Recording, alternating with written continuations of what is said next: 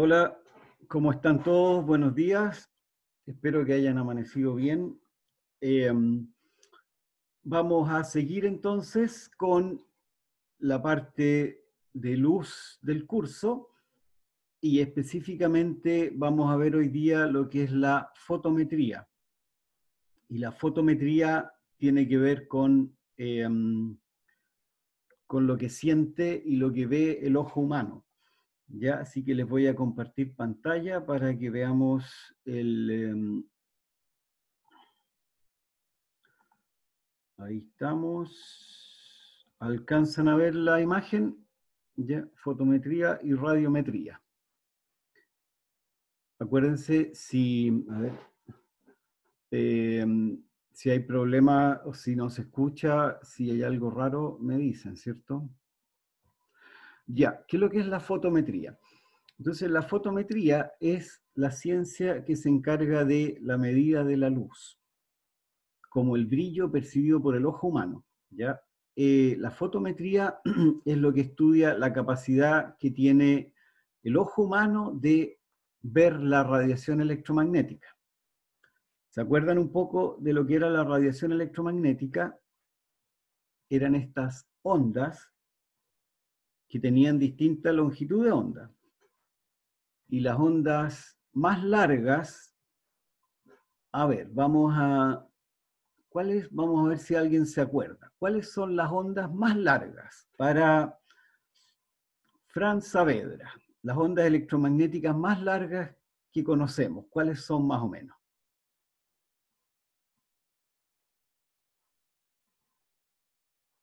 ¿Me escuchan?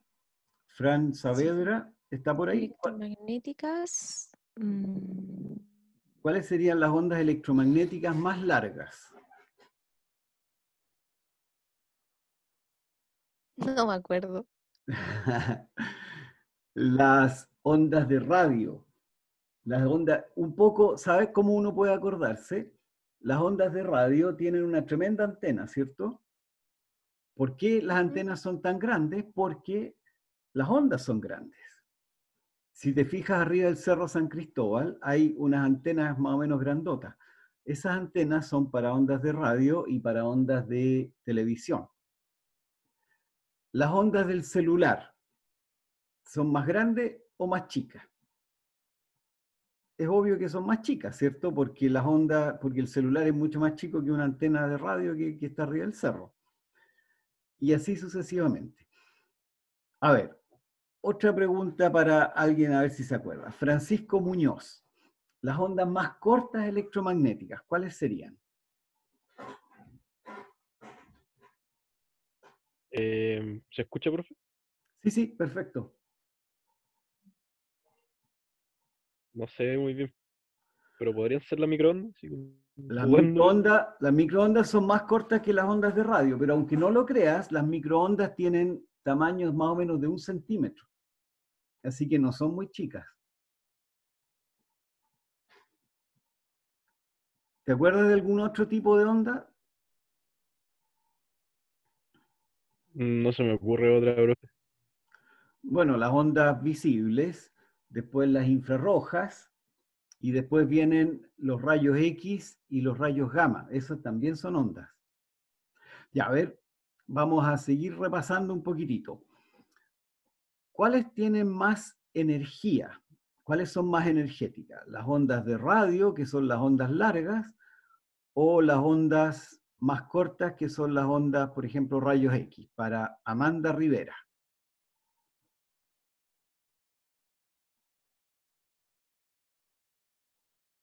¿Cuáles son más energéticas?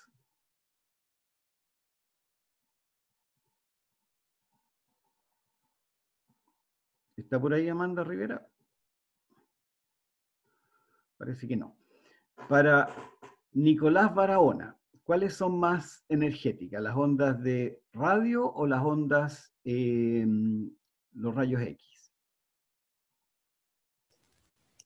Los rayos X. Excelente, súper bien. Y uno, eso un poco uno lo sabe porque los rayos X producen más daño en el cuerpo, ¿por cierto? En cambio, las ondas de radio no producen ningún daño, ¿ya? Entonces, volviendo un poco a la fotometría y la radiometría. eh, a ver, vamos a compartir pantalla de nuevo. Ya, ¿qué es lo que pasa con la radiometría y fotometría? La fotometría estudia entonces lo que ve el ojo humano, que es una parte solamente del espectro electromagnético. El ojo humano solamente ve la luz visible, ¿cierto? Pero, y la radiometría, la radiometría es la ciencia que estudia también la medida de la luz, pero en términos absolutos. No, no lo que ve el ojo humano, sino lo que hay realmente llega de energía. ¿ya? Entonces la radiometría estudia, en, general, es más amplia que la fotometría, porque la fotometría solo ve, solo estudia la parte de lo, lo, que ve el ojo. No sé, disculpe, no se ve el PPT. ¿No se ve el PTT? ¿No estoy compartiéndolo? A ver, denme un segundito. Ah, me, me, equivoqué. Entonces, dame un segundito. Eh, ah, tienen razón. Ahí sí. Sí, ahí sí. Ahí sí, ¿cierto? Ya, entonces la fotometría y la radiometría se diferencian en eso. Un poco para acordarnos de la, siguiendo un repaso de la radiometría. Entonces la radiometría eh, la mide, lo que interesa en general medir es la potencia o la energía. La potencia es lo que está llegando en un instante, en un instante cualquiera. Eh, y la potencia se mide en watts. Por ejemplo, eh, y la potencia, hay, muchos tipos de potencia. Hay potencia óptica, potencia eléctrica, potencia eh, de agua, potencia, de muchas potencias, ¿ya? Pero todas se miden en watts. Y la diferencia con la energía, la energía es la suma de todas esas potencias que están llegando. Por ejemplo, si tenemos una, una cierta potencia lumínica que está llegando sobre una superficie, en cada instante llega, llega una cierta potencia. La energía que llega a esa superficie va a ser la suma de todas estas potencias. O podríamos decir la potencia multiplicada por el tiempo. Eh, y la energía entonces se mide en joule y la potencia se mide en watt. ¿Ya? Eh, vamos a hacer un pequeño ejercicio un poco para repasar todos estos conceptos. Miren, sabemos que la luz está compuesta de fotones. Eso ustedes ya lo saben, ¿cierto? Y cada fotón, cada fotón tiene una energía que está dada por la longitud de onda. E igual hc partido por lambda. Esto es lo que, lo que les pregunté recién. las ondas de radio, por ejemplo, son ondas que tienen longitud de onda grande, lambda. Lambda es la longitud de onda. La longitud de onda es grande. Si este lambda es grande, la energía total va a ser chica. Y viceversa, los rayos X tienen una longitud de onda que es cortita, lambda es chico, y por lo tanto, si este es chico, hc partido por algo chico nos va a dar algo grande. ¿Ya? Por eso la energía de los rayos X es más grande que la energía de un rayo, de, una, de un rayo de radio o una onda de radio. Ya, entonces, la luz eh, está compuesta por fotones.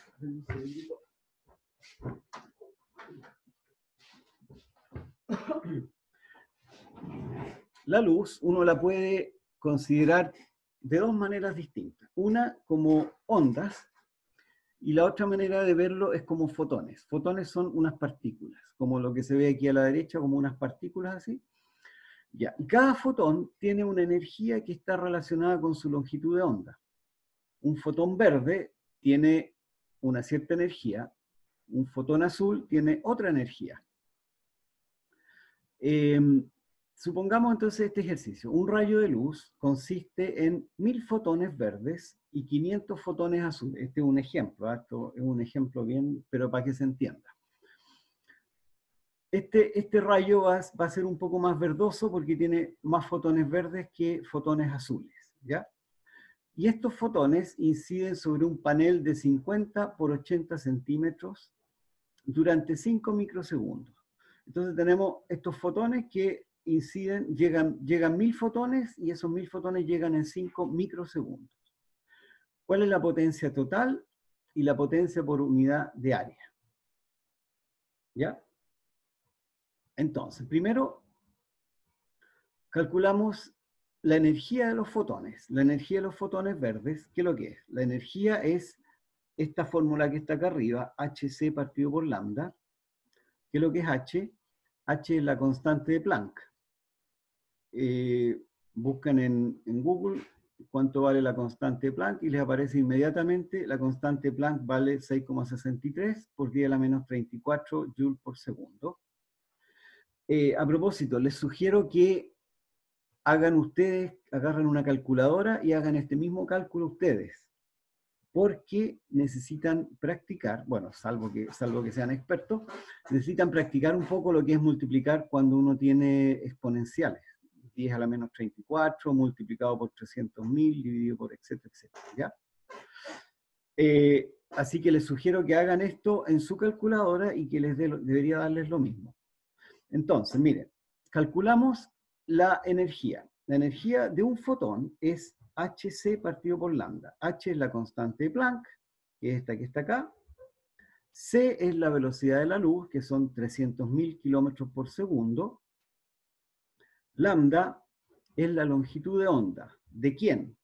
De los fotones verdes. ¿Cuál es la longitud de onda de un fotón verde? Más o menos 525 nanómetros. Ustedes dirán, ¿cómo sé que son 525 nanómetros? Bueno, em, nosotros en las clases anteriores hemos visto lo que es la, la escala cromática, y la escala cromática tiene, o, o más bien la escala cromática, y la escala cromática tiene, para cada color, tiene asociada una longitud de onda.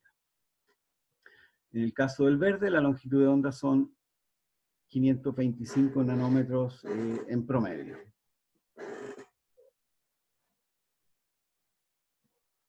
Ahora, mucho ojo acá.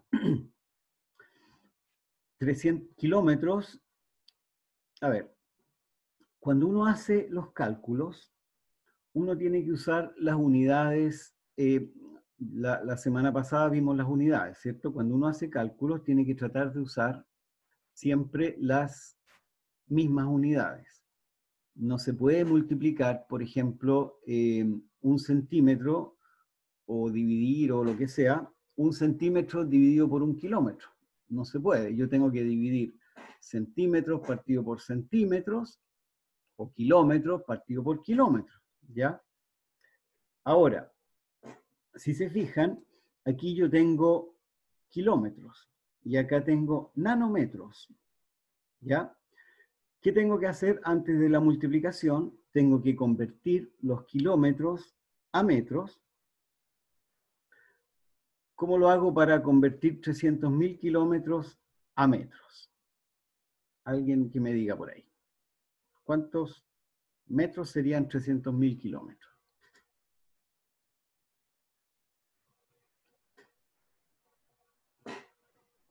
A ver cómo están los cambios de unidades. ¿Cuántos, cuántos metros son 300.000 kilómetros?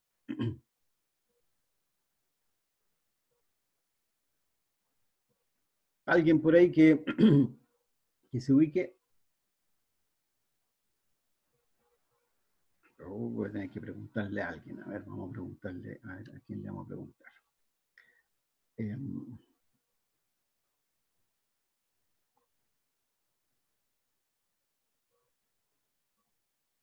¿A quién le vamos a preguntar? A Ricardo Rojas. ¿Cuántos metros son 300.000 kilómetros?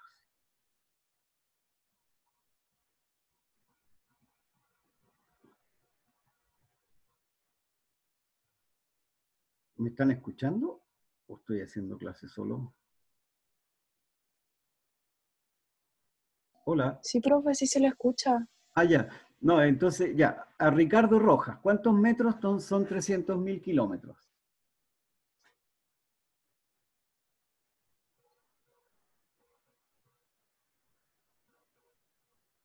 Eh, está sin micrófono. Eh, escríbemelo entonces. Escríbeme cuántos, cuántos metros son 300.000 kilómetros.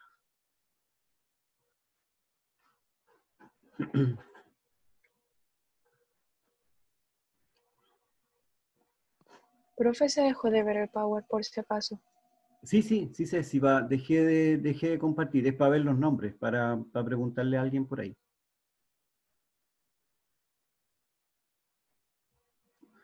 Ya, aquí van a tener que practicar un poquitito, hacer cambios de unidades, ¿ya? Si un kilómetro son mil metros, entonces serían 300 millones. Perfecto, 300 kilómetros, justamente. Un metro, o sea, un kilómetro son mil metros, entonces uno lo que hace, em, lo, ¿cómo lo vimos? Ya. Eh, uno lo que hace es multiplicar por, por mil. Miren, a ver, vamos a compartir de nuevo la pantalla. Em,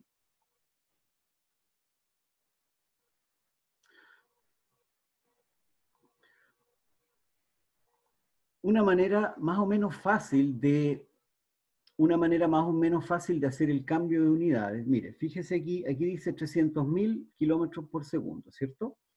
Resulta que kilo, kilo significa mil, ¿cierto? Entonces yo reemplazo esta K que está aquí, la reemplazo por mil, porque un kilo son mil, ¿cierto? Entonces tengo 300.000, 300.000 y aquí tengo un kilo que, que es a la vez mil. Por lo tanto, lo reemplazo y me queda 300 millones de kilómetros. Lo mismo acá, para este 525 nanómetros. ¿Cuánto vale un nano? No creo que todos se acuerden, pero un nano es 10 a la menos 9. Entonces, lo que hacen es tomar esta n y reemplazarla por 10 a la menos 9. Entonces, ¿qué les va a quedar? Les va a quedar 525 por 10 a la menos 9 metros. ¿Se fijan? Esa es una manera fácil de hacer cambios de unidades. Uno, uno toma este, este n y lo reemplaza por su valor. En este caso el n es 10 a la menos 9. En el caso de kilo, kilo es 1000. ¿Ya? Entonces, con todos esos cambios, eh, con todos esos cambios obtenemos 3,79 por 10 a la menos 16 joule. Joule son energía. Si se acuerdan bien, Joule es energía, ¿ya? Entonces, tenemos que la energía de los fotones verdes es esto que está acá. Ahora, ¿cuál es la potencia? La potencia es energía dividido por tiempo.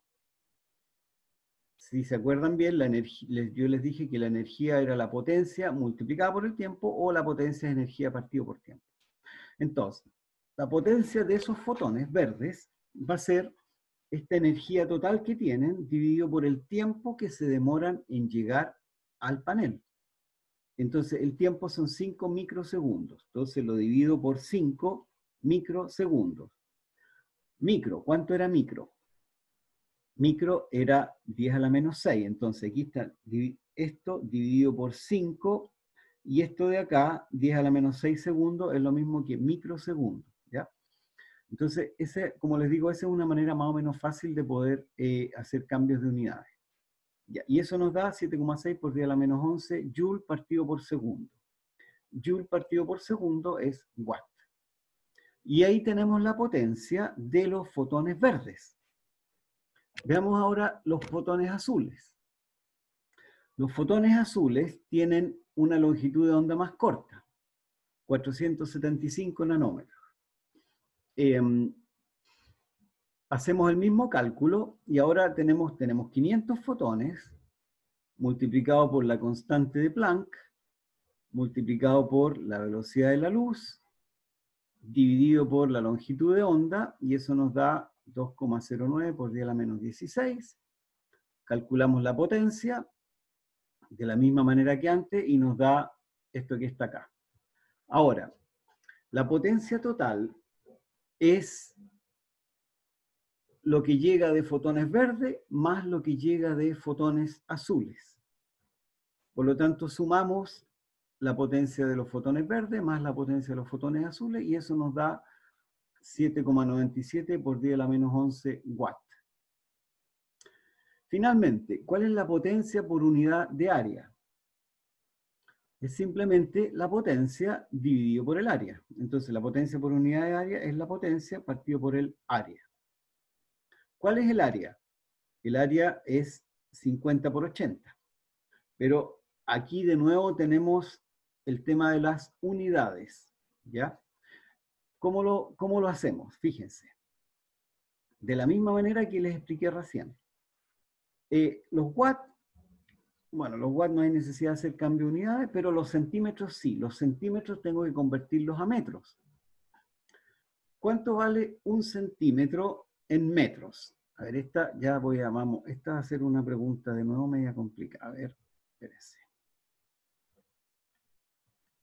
Vamos a catetear a alguien y preguntarle a Maricol Astudillo. ¿Cuánto vale un centímetro en metros?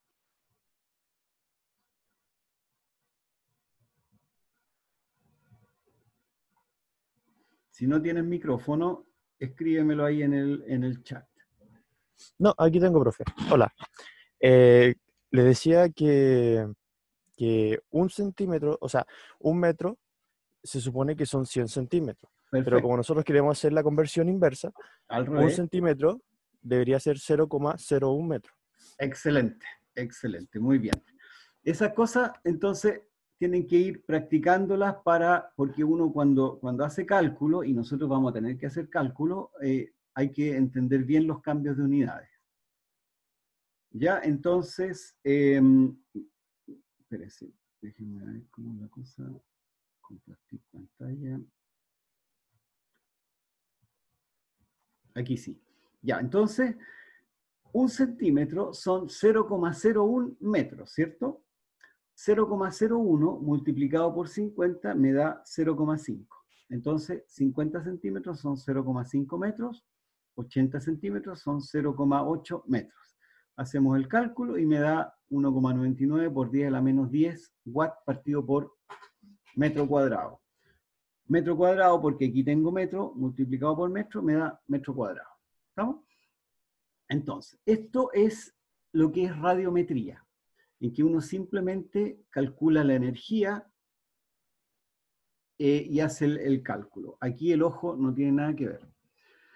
La radiometría, eh, existen instrumentos que sirven para medir la potencia óptica y esos, hay dos tipos de instrumentos. Unos que se llaman espectrómetros y otros que son los radiómetros. Los espectrómetros miden la potencia óptica para cada longitud de onda. ¿Por qué? Porque si se fijan ustedes, recién calculamos la potencia de fotones azules y fotones rojos, ¿cierto? Eh, sí, azules y, azules, y azules y verdes. Azules y verdes. Resulta que cada uno de esos fotones tiene una cierta longitud de onda, ¿ya? Y la potencia óptica es distinta para los distintos fotones. Entonces, los espectrómetros son capaces de poder medir la potencia en cada longitud de onda. Y eso lo hacen mediante un prisma y hacen la descomposición óptica de la luz y la miden. Ahí hay un ejemplo de lo que de un espectrómetro. Pero los radiómetros son unos otros sistemas que son un poco más simples y simplemente y miden toda la potencia en un rango integrado de longitudes de onda. O sea, miden todo el visible, por ejemplo. Miden desde 300 nanómetros hasta 700 nanómetros, por decir algo. ¿ya?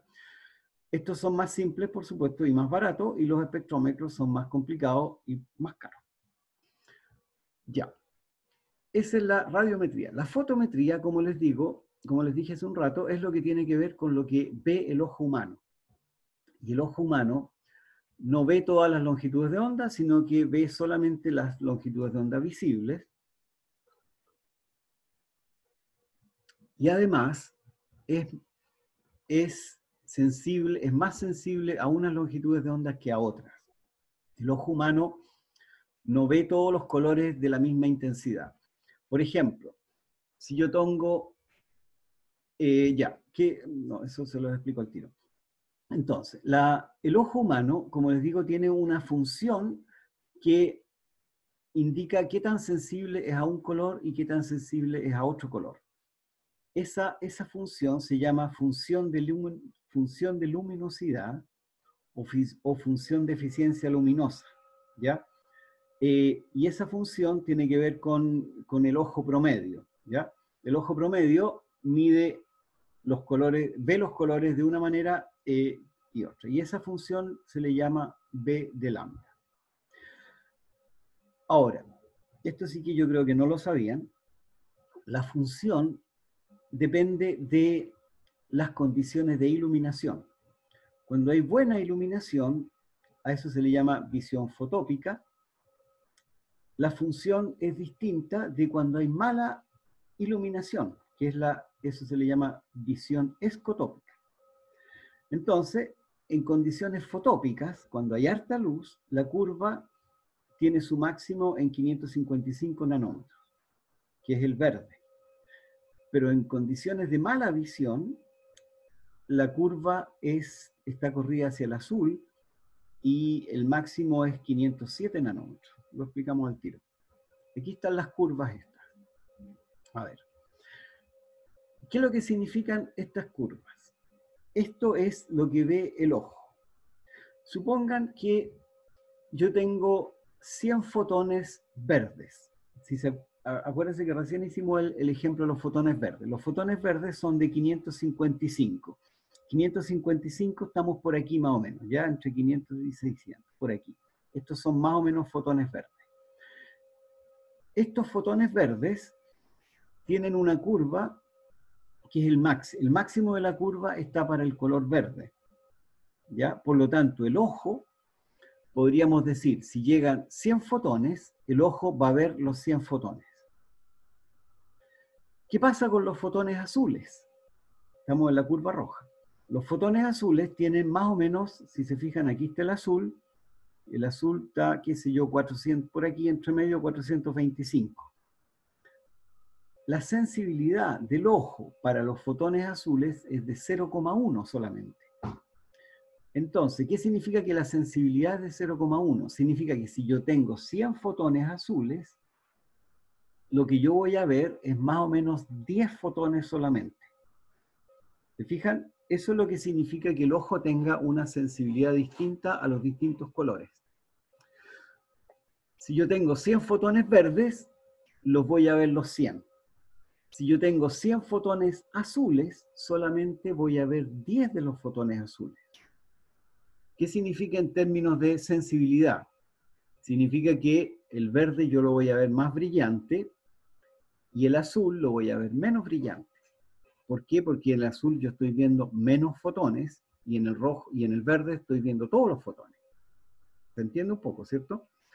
¿Qué pasa con los fotones rojos? Más o menos lo mismo. El rojo es por aquí 650, 700. Eh, y en el rojo también yo voy a ver menos fotones. O sea, si yo tengo, una, si yo tengo 100 fotones rojos, de esos 100 fotones yo voy a ver solamente unos, no sé, unos 20 eh, o 10 o lo que sea. Depende, depende exactamente qué color rojo tengo. Ahora, esa curva del ojo humano cambia un poquitito cuando cambia la, intensidad de la luz. Para harta, cuando hay harta luz, cuando hay buena iluminación, yo tengo la curva roja. Cuando tengo poca iluminación, el ojo se ajusta y es más sensible a los colores más azules. Entonces, ¿qué significa eso? Que cuando hay harta luz, el ojo humano es más sensible al rojo y menos sensible al azul. Cuando hay poca luz, el ojo es menos sensible al rojo y más sensible al azul. Y eso es importante y tiene que ser considerado idealmente en los diseños. Si ustedes, por ejemplo, diseñan una, una sala, una sala que en general va a estar menos, más oscura.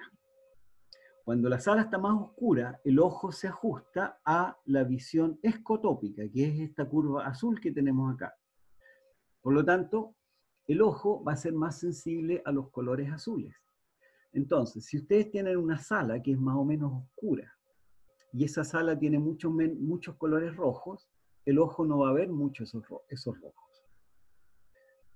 Si tiene más colores azules, esos colores azules van a ser más visibles que los colores rojos.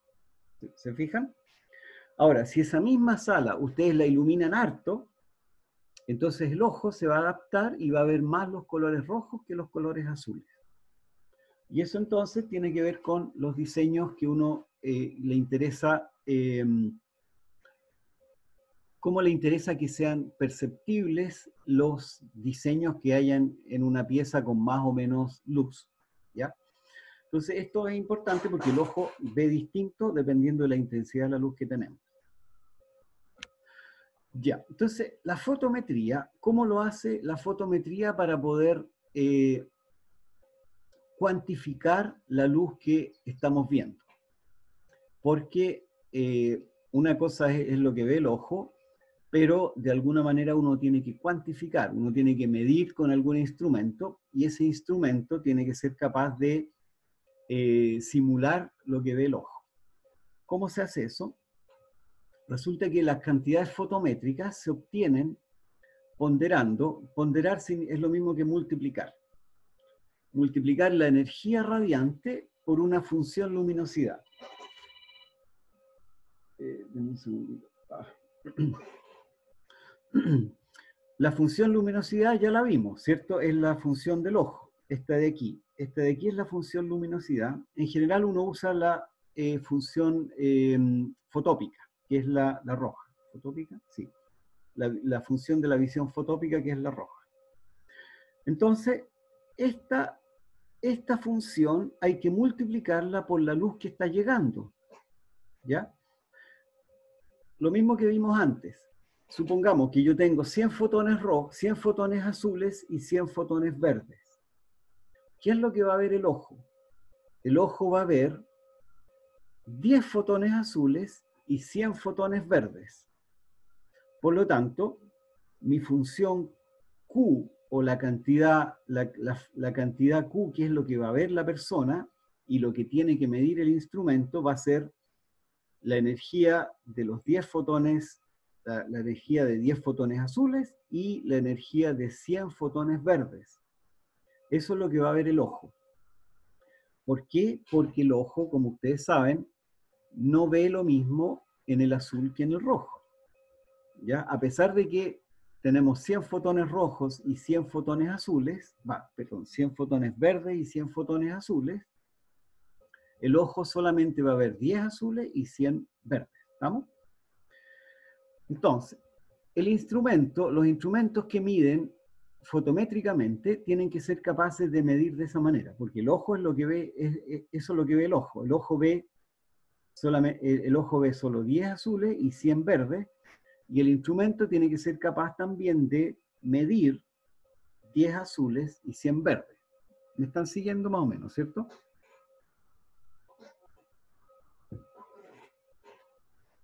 Eso matemáticamente se expresa como una integral en que uno integra, por un lado, la cantidad de luz que llega. La cantidad de luz, es este Q sub E. Q sub E es, en este caso, en el ejemplo que les di recién, el Q sub E son 100 fotones azules y 100 fotones verdes. El V es la función eh, fotópica del ojo que es 0,1 para el azul y 1 para el verde. Multiplico estos dos y obtengo la cantidad de luz que va a ver el ojo. ¿Ya? Entonces, todos los instrumentos fotométricos hacen este proceso de multiplicar la luz que llega por ese factor, y ese factor es el factor que tiene que ver con el ojo humano. ¿Estamos? Para que traten de entender. Profe. Ajá. ¿Nosotros vamos a tener que hacer cálculos con integrales? No, no, integrales no, no se preocupen. Oye, menos mal. en la prueba nomás les voy a poner una integral, ¿ya? No, ¿cómo van a hacer eso? Pero sí tienen que entender el concepto. El concepto es importante que lo entiendan, porque una integral, una integral es una suma eh, ponderada. En este caso estamos ponderando la cantidad de fotones que nos llegan, la cantidad real de fotones, que son 100 verdes y 100 azules, multiplicado por, eh, multiplicado por la respuesta del ojo. Y eso se suma. Y esta integral que ustedes están viendo aquí es lo mismo que una suma, así que en realidad no es tan complicado, pero igual no lo vamos a ver, pues es solo, es solo para ilustrar lo que, lo que, lo que, lo que hace el, ojo humano. Ya, antes de seguir, eh, tenemos que entender el concepto de ángulo sólido. ¿Por qué? Porque el ángulo sólido eh, se usa en todas las cantidades fotométricas que, mm, que, que vamos a ver. El ángulo sólido es equivalente al ángulo, a los ángulos comunes y silvestres, pero el ángulo sólido es volumétrico. Entonces, eh, los ángulos sólidos se miden en estero, esteroradianes y estos se definen usando una esfera, una esfera de radio R. Entonces, ¿cómo se define el ángulo sólido? Se define como el área que cubre ese ángulo dividido por el R cuadrado. Por ejemplo, eh, el ángulo sólido este, el ángulo sólido que hay aquí, que es este, este, este, a ver, perdón, a ver, veámoslo acá arriba mejor. El ángulo sólido que cubre este cono que está acá, ¿se fijan? Este es un cono, ese es un cono que cubre una cierta área, ¿cierto? ¿Cómo calculamos el ángulo sólido de este cono? Se, se calcula el área que está acá arriba y se divide por el R de este, mm, el R de esta esfera.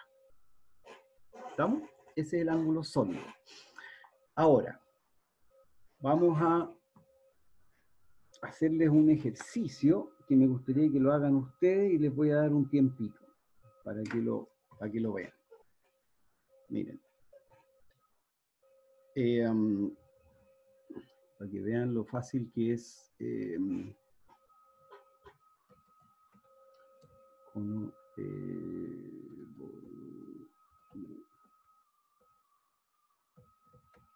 Están viendo la pantalla, ¿cierto?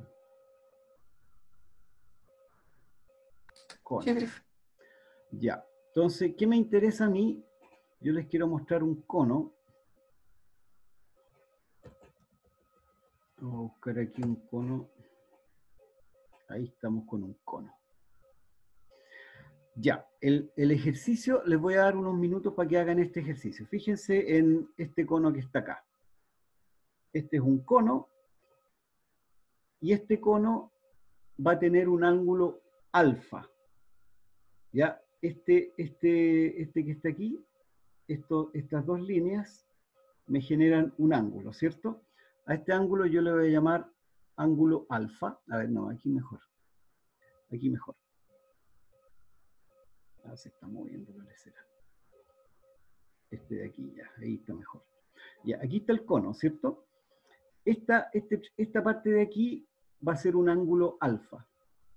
Quiero que calculen cuál es el ángulo sólido que cubre este cono. ¿Cuál es el ángulo sólido de este cono si es que este ángulo que está aquí es alfa? El ángulo sólido es, es todo este cono completo, este cono, este cono volumétrico, bueno, en, en realidad los conos siempre son volumétricos, perdón. Em, pero supongan, supongan que aquí hay una esfera, ¿ya? Y el radio de la esfera es este que está acá. El radio de la esfera le vamos a llamar G por ahora, y este ángulo que está arriba es alfa. Acuérdense de ese dato. El radio de la esfera es G y el ángulo que está aquí es alfa. Quiero que me calculen el ángulo sólido de este cono, de este, que cubre este cono. ¿Ya? Vamos a dar, son las 10.22, vamos a dar uno- unos 5 minutos y de ahí le pregunto a alguien, a algún desafortunado. ¿Ya? Entonces, eh, ¿ya? están, mm, están pidiendo en el chat si es que puede explicar de nuevo lo del ángulo sólido, por favor. Ah, ya. Ya, veamos de nuevo el ángulo sólido. Están viendo la pantalla, ¿cierto? Sí. Ya, el ángulo sólido, el ángulo sólido es el equivalente al ángulo común y silvestre, pero en un volumen. ¿Ya? Fíjense, por ejemplo, acá en este, es- aquí hay un cono, ¿cierto? Este es una esfera, este es una esfera y este es un volumen. El ángulo sólido se calcula como el área que cubre esta, esta cosa dividido por el radio de la misma esfera. Un segundito. Cuando me, cuando me llaman, cuando me llaman se corta un poco el internet. Eh, Entonces, el ángulo sólido se calcula como el área que cubre el cono, esta área que está aquí, dividido por el radio del mismo cono. ¿Estamos? Esa es más o menos la definición de em, la definición de ángulo sólido. Ahora, después en realidad vamos a hacerlo aquí mismo mejor. Aquí vamos a poner, ahí está, ahí está el ángulo sólido. Entonces, miren, vamos a poner un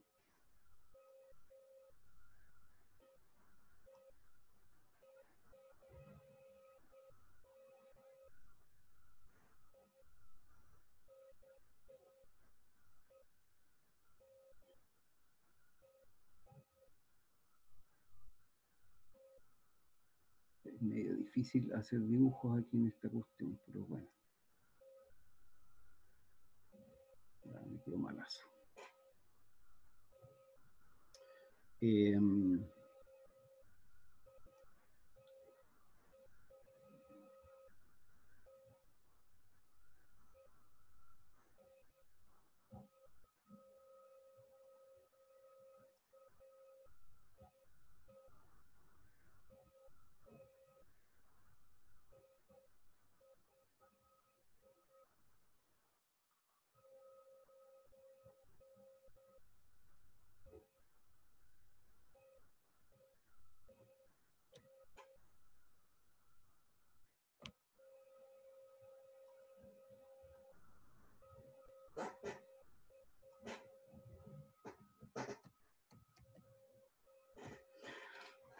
Ya, a ver, veamos un poquitito. La pregunta es la siguiente. Acá tienen la definición de ángulo sólido, ¿cierto? El ángulo sóli- sólido es el área que cubre el cono, el área, el área de la esfera, ya de una esfera, no es un área plana. El área de este pedacito de esfera dividido por el radio. Ese es el ángulo sólido. Entonces, yo, el ejercicio que les estoy poniendo es el siguiente. Supongan que aquí tienen, aquí tienen un cono, ¿cierto? Este cono es una parte de una esfera grande, una esfera más grande que va hacia alrededor. ¿ya? Esta esfera tiene un radio G. Y este ángulo que hay aquí es el ángulo de, del, este ángulo que se ve acá, este, este, esta- la mitad del cono. La mitad del cono tiene un ángulo alfa. Entonces, lo que quiero es que calculen cuál es el ángulo sólido que cubre este cono. ¿Ya? ¿Cómo se calcula ese ángulo sólido? Se calcula como el área partido por r cuadrado. r cuadrado, ¿cuánto es? rg. r cuadrado es g cuadrado. ¿Ya? Así que les vamos a- ahora, eh, son las 10.26 según mi, según mi reloj. Como en unos 5 minutos más, le pregunto a alguien. ¿Ya? Traten de hacer ese ejercicio.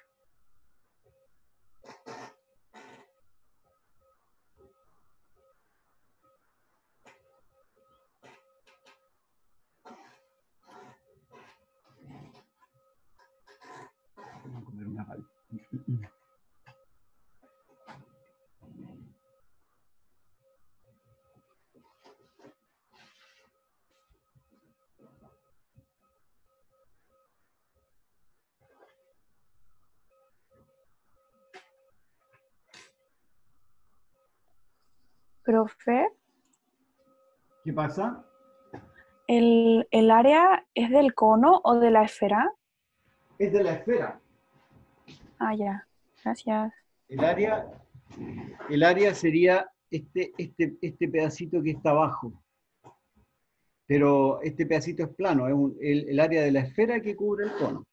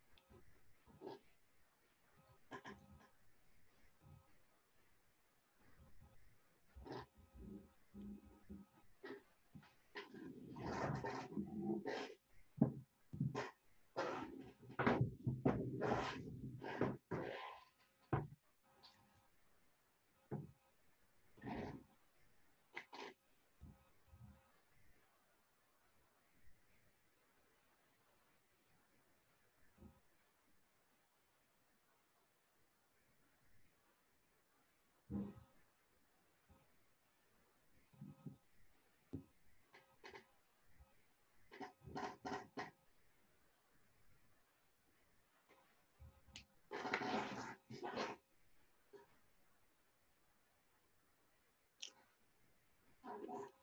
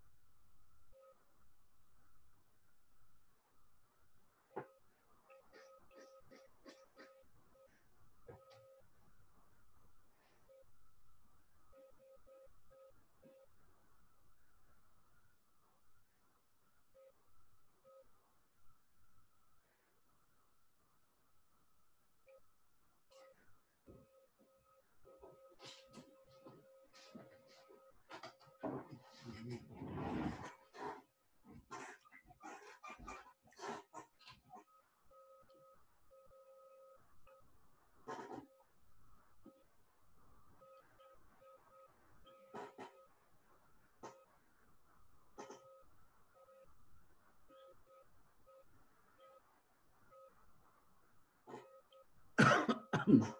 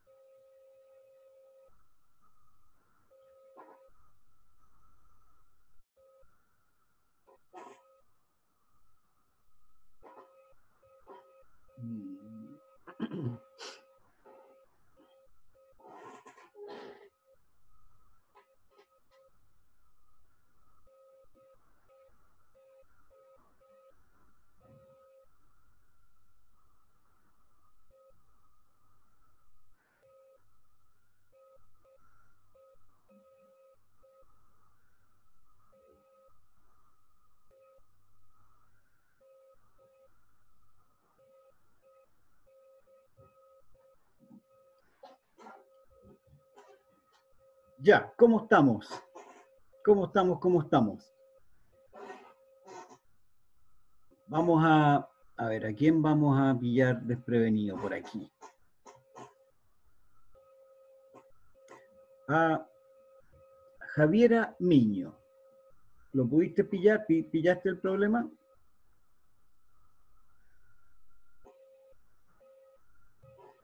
No, profe, estoy confundida. Es medio complicado, ¿cierto? Si no es tan simple. Eh, a mí, de hecho, a mí me costó su, poco entenderlo, pero miren, lo lo vamos a ver eh, en la pantalla para... mm, A ver, ¿cómo se hace? Acá. Denme un segundito. Adelante. Ya, vamos a explicar el tema en la pantalla porque yo sé que no es tan, no es tan simple. Ya, ¿qué, qué les pregunté yo? El ángulo, primero que nada, el ángulo sólido se define como área partido por r cuadrado, ¿cierto? Esa es la definición de ángulo sólido. Ahora, ¿qué es lo que, qué es lo que teníamos? Teníamos un cono. Era un cono, era una cosa así, ¿ya? Y ese cono tenía un ángulo alfa. El cono era así. Yo lo que quiero, esto por supuesto, un cono es volumétrico. Lo que quiero es calcular el ángulo sólido de este cono. ¿Estamos? Ahora, ¿qué tengo que calcular para encontrar? Ya, y el, y el, el radio de este cono, eh, perdón, esta distancia, esta distancia valía g, ¿cierto? Ahora, para poder calcular el ángulo sólido, yo tengo que calcular el área. ¿Cuál es el área? Este cono es parte de una esfera un poco más grande, que es una cosa más o menos así. Ah, que me quedó, harto feo me quedó, ¿cierto? Más o menos así, una esfera grandota. A ver. Vamos a dibujarla eh, un poco más chica para que, para que se vea. Ya, supongamos que tengo una esfera. ¿Ya? En esta esfera yo tengo un cono. Este es mi cono. ¿Ya? Y aquí tengo el ángulo alfa. Y el cono es una cosa más o menos así. Ahí más o menos se entiende, ¿cierto? Estamos. Entonces, ¿qué es lo que tengo que hacer yo? Para calcular el ángulo sólido, tengo que ver cuál es el área. El área es esta área que está acá arriba, esto de aquí. ¿Cierto? Ese es el área y tengo que dividir esa área por el R, el RG, conocido. Entonces, primero tengo que calcular cuánto vale esta área para poder calcular el ángulo sólido. ¿Cómo puedo calcular esa área? Veamos un poquitito, ¿cuál es el área? Primero que nada, ¿cuál es el área de esta esfera? Área, área de la esfera. ¿Alguien se acuerda cuál es el área de una esfera? Eso lo estudiaron seguramente en segundo básico. Así que, ¿cuál es el área de la esfera? A ver. ¿Alguien que me eche una mano? 4 por pi cuadrado. Excelente, excelente, excelente. 4pi, 4pi r cuadrado, ¿cierto? Ese es el área de la esfera. Y en este caso es 4pi g cuadrado, porque g era el radio de la esfera, ¿cierto? Ya. Si el ángulo es cero, si el ángulo, si este ángulo alfa es cero, el área es cero, ¿cierto? ¿Qué pasa si el ángulo llega hasta acá abajo? ¿Cuál sería el área de la, el área que... A ver, cuando el ángulo es cero, el, el área que cubre el cono va a ser cero. Cuando el ángulo es 90, cuando estoy aquí, cuando el ángulo es 90, ¿cuál es el área que cubre el cono?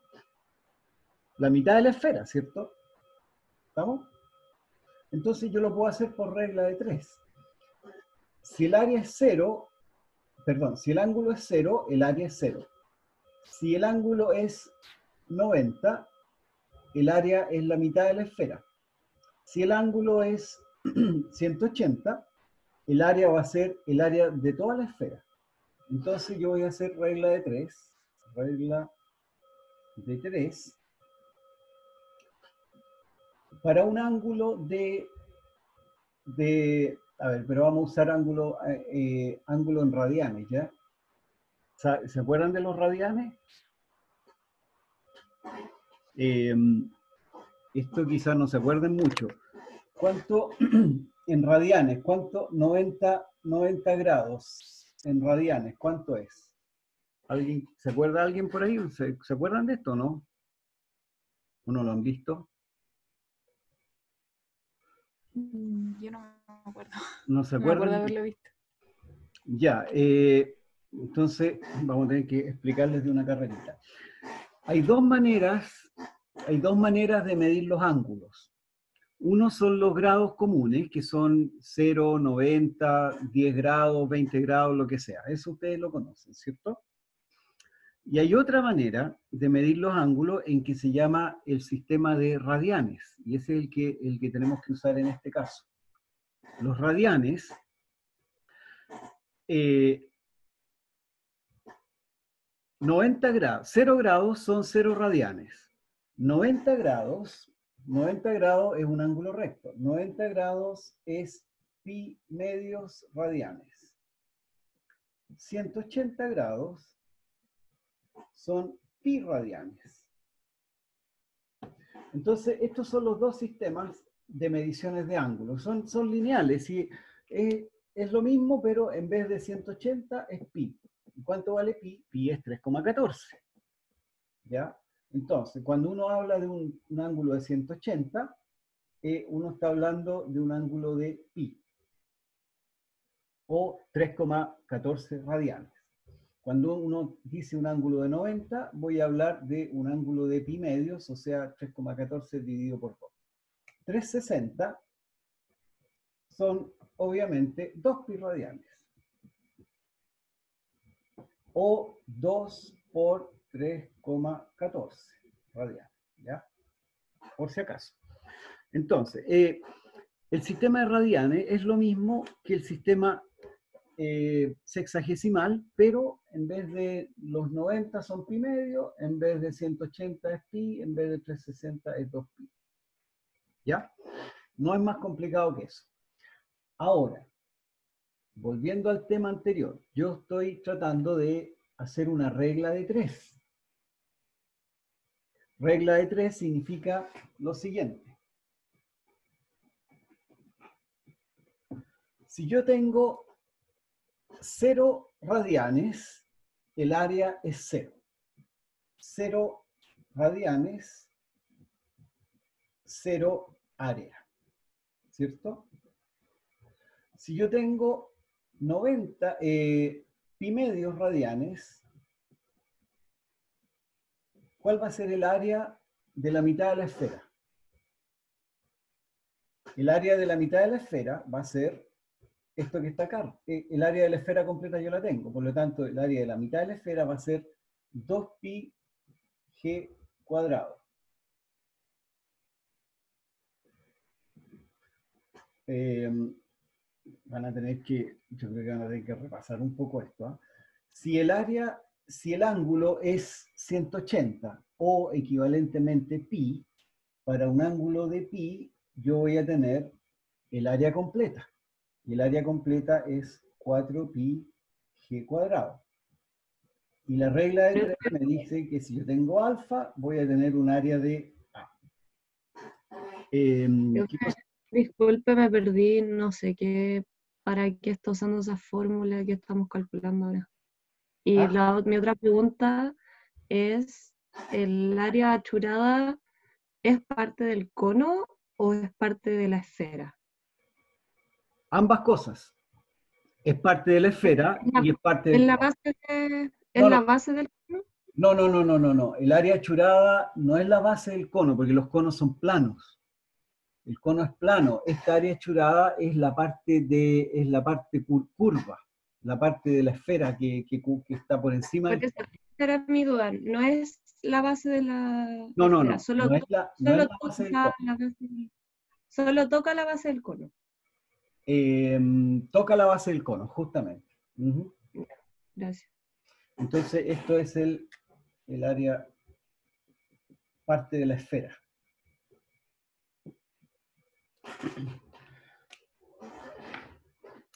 Ya. eh, a ver, entonces, re- re- recapitulando un poco. Estamos un poco atrasados en el tiempo, pero... A ver, ¿saben qué? Miren, esta, esta es la regla de tres esta es la regla de tres que nos permite calcular el área para un determinado ángulo alfa. ¿Ya? Les voy a, vamos a, ahora se supone que tenemos que parar un ratito y tenemos un recreo, así que vamos a parar un rato, pero me gustaría que ustedes también le den una, traten de entender estos conceptos un poco y después cuando volvamos seguimos terminando el problema, ¿ya? Pero esto tienen que aprenderlo porque esto es geometría solamente, ¿ya? así que es parte de lo que ustedes tienen que aprender, así que echen, eh, denle una vuelta para tratar de entender qué es lo que estamos hablando aquí, ¿ya? Y seguimos en. Ajá. A la vuelta podría volver a explicarlo que se me apagó el computador. Sí, sí, de todas maneras, no, de todas maneras lo vemos bien. Gracias. Profe, y es el área en base al ángulo. La- esa regla 3. Claro, hay que encontrar el área en base al ángulo. Ahora, el área, el área no es la base del cono, porque la base del cono es plana. El área es la parte curva que pasa por encima del cono. Ya, ok. ¿Se fijan? Eh, el área es esta parte curva que está acá arriba. Ya, profe. Gracias.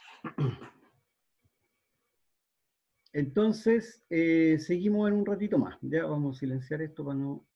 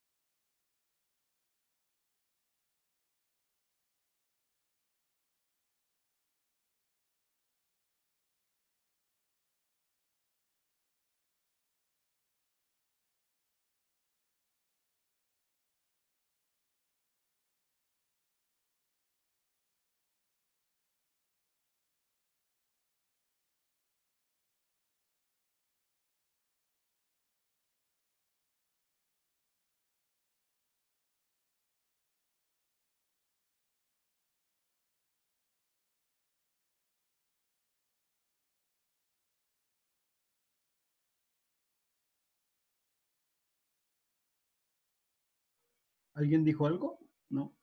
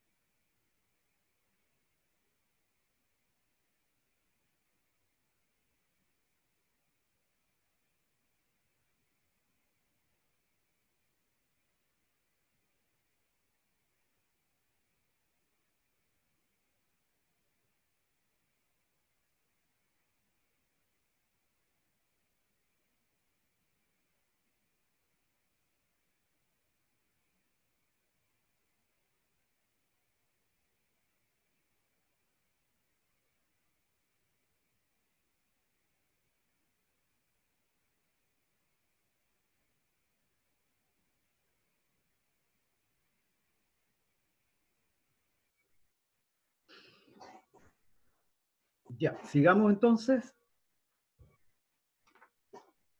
Ya, a ver, miren. ¿Qué es lo que estamos tratando de calcular?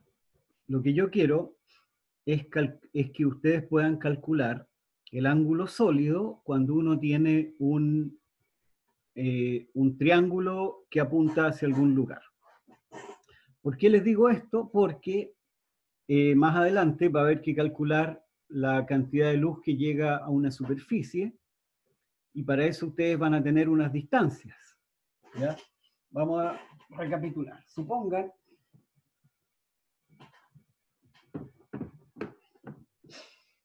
Supongan que ustedes están, eh, hay una pieza, aquí hay una luz que está iluminando, y ustedes están por acá. ¿Ya? Y ustedes quieren calcular cuánta luz llega a esta pared. Para eso va a haber que ser capaz de calcular el ángulo sólido. Y el ángulo sólido uno lo podría calcular a partir de ese ángulo alfa que es fácil de medir. Ustedes pueden medir esta distancia, pueden medir esta distancia, y el ángulo se calcula con la tangente. ¿Ya? Ahora, ese, ese es la, esa es la motivación, es necesario hacer eso. Entonces, ahora, si yo quiero medir el ángulo sólido, ¿cómo lo, cómo lo puedo hacer si yo conozco solamente ese ángulo? Entonces, volvamos atrás vamos a hacer un dibujito suponiendo que yo conozco solamente este ángulo, este ángulo de aquí. Yo coloco este ángulo alfa, ¿ya? Y yo quiero calcular el ángulo sólido que me forma ese cono. Ahora, el cono, el cono es una cosa de ese estilo, ¿cierto? Ese cono tiene una base que es plana esta, esa base que está ahí es plana. Y si yo quiero calcular el ángulo sólido, no puedo usar la base plana, tengo que usar, usar la base esférica. ¿A qué me refiero con la base esférica? Si ustedes completan este cono y arman la esfera que está alrededor de este cono, una esfera es una cosa así. A ver, no.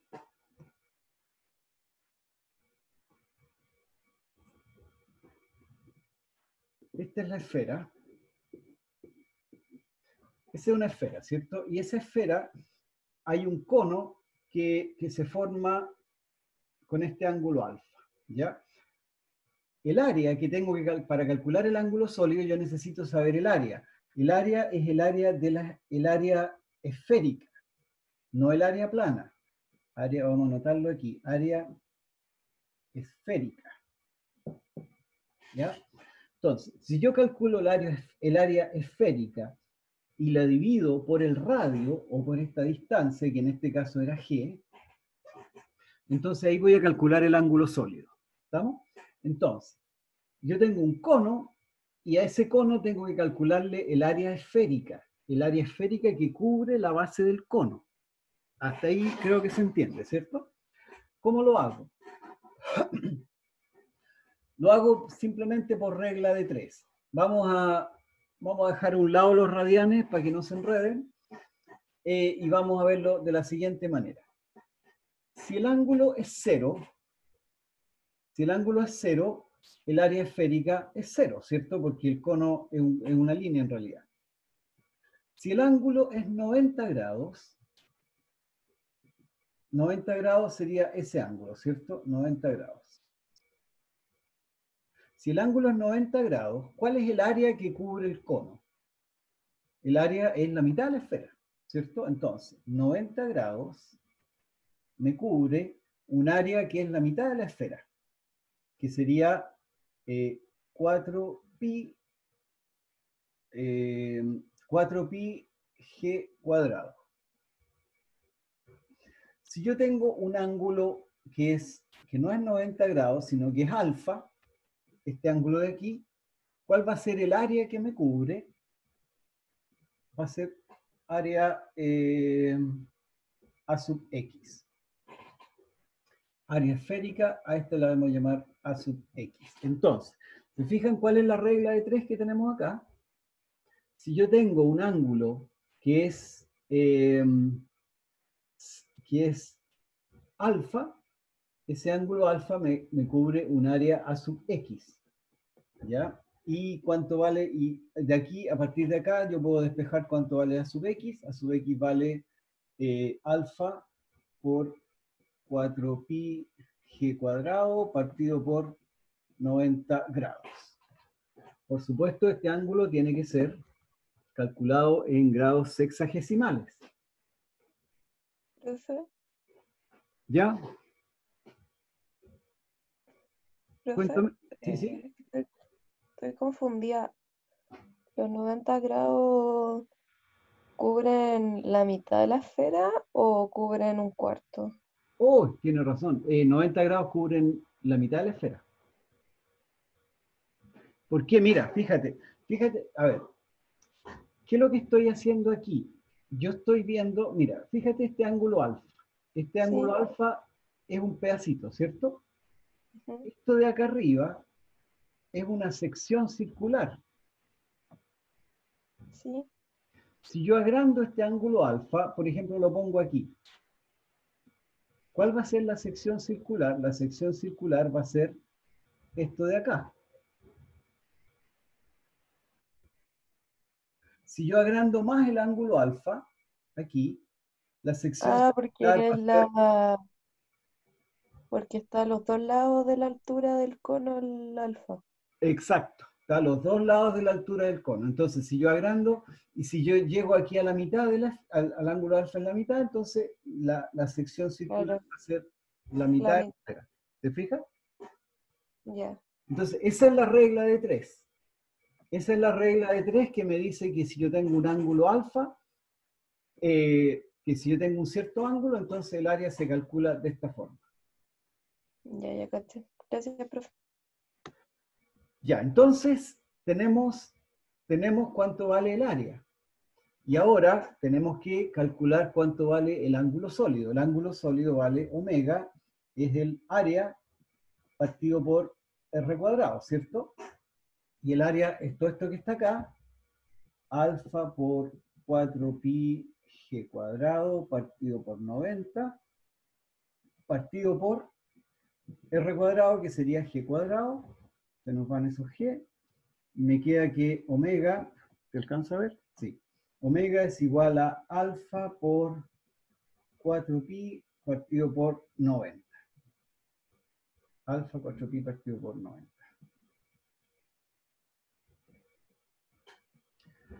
Entonces ahí calculamos el ángulo sólido que cubre un ángulo alfa. Por supuesto, ahora este ángulo alfa está medido en grados sexagesimales. Eh, 10 grados, 20 grados, lo que sea. Eh, ¿Estamos? Entonces, esa es la manera de calcular los ángulos sólidos. No es difícil, es algo nuevo porque no creo que hayan calculado ángulos sólidos mucho en el colegio, o quizás sí, no sé. Pero, eh, pero esto son, son conceptos nuevos, pero que no son, no son complicados, pero hay que practicarlos. Ya, entonces, ¿por qué nos sirve el ángulo sólido? Porque, volviendo a la fotometría, la fotometría está definida usando, usando ángulos sólidos, ¿ya?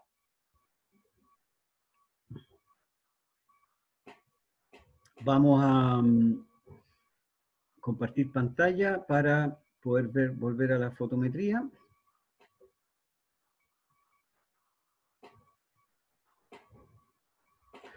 Ya, entonces tenemos acá, tenemos eh, lo que es el ángulo sólido, ¿ya? Ahora sigamos un poquitito y veamos algunas definiciones de lo que es el flujo luminoso. El flujo luminoso se mide en lumen. Lumen es una unidad que tiene que ver con la potencia óptica y, y la, y la eh, ¿cómo se llama esto? Y la, la sensibilidad del ojo. El- entonces, el flujo luminoso es la suma ponderada de la potencia en todas las longitudes de onda del espectro visible. la radiación fuera del espectro visible no contribuye al flujo luminoso. El flujo luminoso entonces se define de esta forma. Esta integral a propósito, eh, en el fondo es una suma. Es solamente la suma de la intensidad óptica que nos llega multiplicada por este B, y este B es la sensibilidad del ojo. Y eso, si uno lo multiplica por 683, nos da el flujo luminoso en una unidad que se llama lumen. Lumen es la unidad de flujo luminoso. Ahora, si se fijan bien, el flujo luminoso es toda la cantidad de luz que sale de una fuente. El flujo luminoso es la luz total, no, no, está, no está diferenciada por distancia, ni por, ni por ángulo, ni por nada. Es la cantidad de luz que sale de alguna fuente. Eso es lo que se llama lumen. Hay otra unidad. eh, ah, a propósito, ¿cómo se define el lumen? El lumen se muestra que si tenemos una sola radiación de onda, si tenemos solamente 555 nanómetros, el 555 corresponde al color verde entre el verde y el amarillo. Eh, si, si tenemos una radiación de 555 nanómetros y con un watt de potencia, un watt, acuérdense, era la, era la energía dividido por el tiempo. Eh, y eso, eso, ese watt de potencia a 555 nanómetros corresponde a 683 lumen. ¿Ya? Por si acaso, la relación entre watts y lúmenes se le llama el equivalente luminoso y un watt de luz a 555 nanómetros es 683 lumen. Ahora, cuando tenemos otras longitudes de onda, es más difícil calcular la relación, ¿ya? Porque hay que hacer esta integral que, le- que les, que les puse hace un rato. Ya. Hay otra cantidad que se usa también, que es la candela. La candela, eh, como dice la canción por ahí, si se acuerdan, es la intensidad luminosa percibida, pero en un ángulo sólido de un estéreo radián, ¿ya? La intensidad luminosa está definida en función de los, del ángulo sólido, de los estéreos radián. Y, un ángulo so- y la candela entonces se define como un lumen partido por un estéreo radián. Em, el- entonces, si ustedes tienen una cierta cantidad de lúmenes y ustedes están mirando esa cantidad de lúmenes en un, en un cierto ángulo, en un cierto estéreo radial, para calcular las candelas simplemente dividen el flujo luminoso en lúmenes dividido por, dividido por el, el ángulo sólido. ¿Ya? Ahora, un poco para que tengan una cierta idea, eh, una vela, una vela emite más o menos una candela. De ahí viene, de ahí viene el nombre. El nombre de candela viene de ahí, que, que una candela era una vela, una candela es una vela, ¿cierto?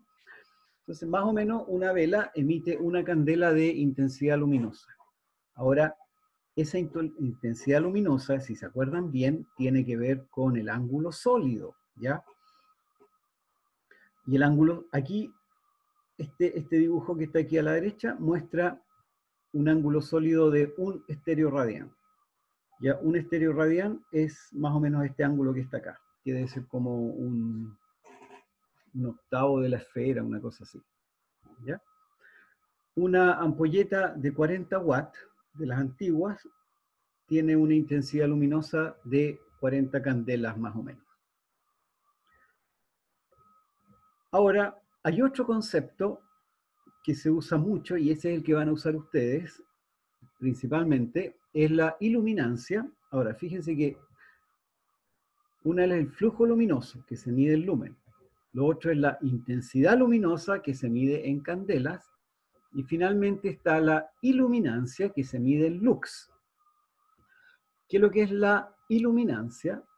La iluminancia son los lúmenes, pero sobre una superficie. Lux, entonces, es lumen partido por metro cuadrado. ¿Ya?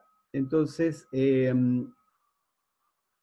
Y en realidad eh, lo que más se usa para poder medir la intensidad de luz es la iluminancia. Eh, y para eso existen unos instrumentos que se llaman luxómetros, y los luxómetros miden los lux, ¿cierto?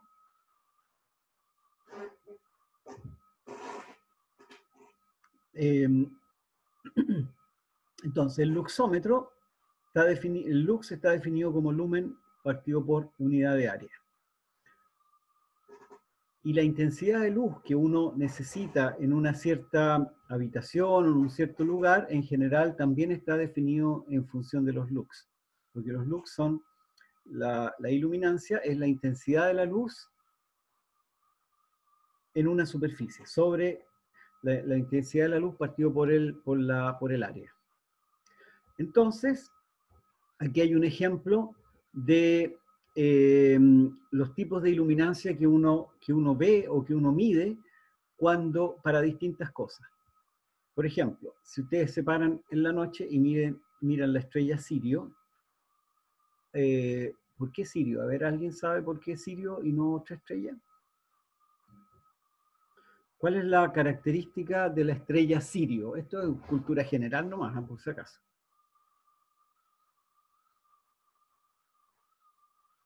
¿Por qué les mencioné la estrella Sirio y no la estrella, no sé, pues, Orión o, o qué sé yo, alguna de las otras? O Betelgeuse.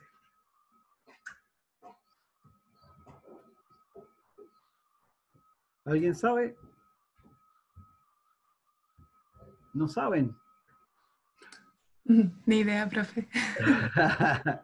Sirio, Sirio es la estrella más brillante del, del cielo, bueno, de la noche, el cielo en la noche, por supuesto. Si ustedes se paran hoy día en la noche, si es que está despejado, donde estoy yo está, está nublado ahora, eh, si, paran, si se paran el día en la, noche, en la noche y miran hacia el cielo, la estrella más brillante de todas es Sirio, ya por si acaso. Así que para que no se les olvide nunca más, porque si se les llega a olvidar, seguramente no van a terminar arquitectura. Ya, entonces, la estrella Sirio, desde la Tierra, tiene una iluminancia de 0,00008 lux, 8 microlux.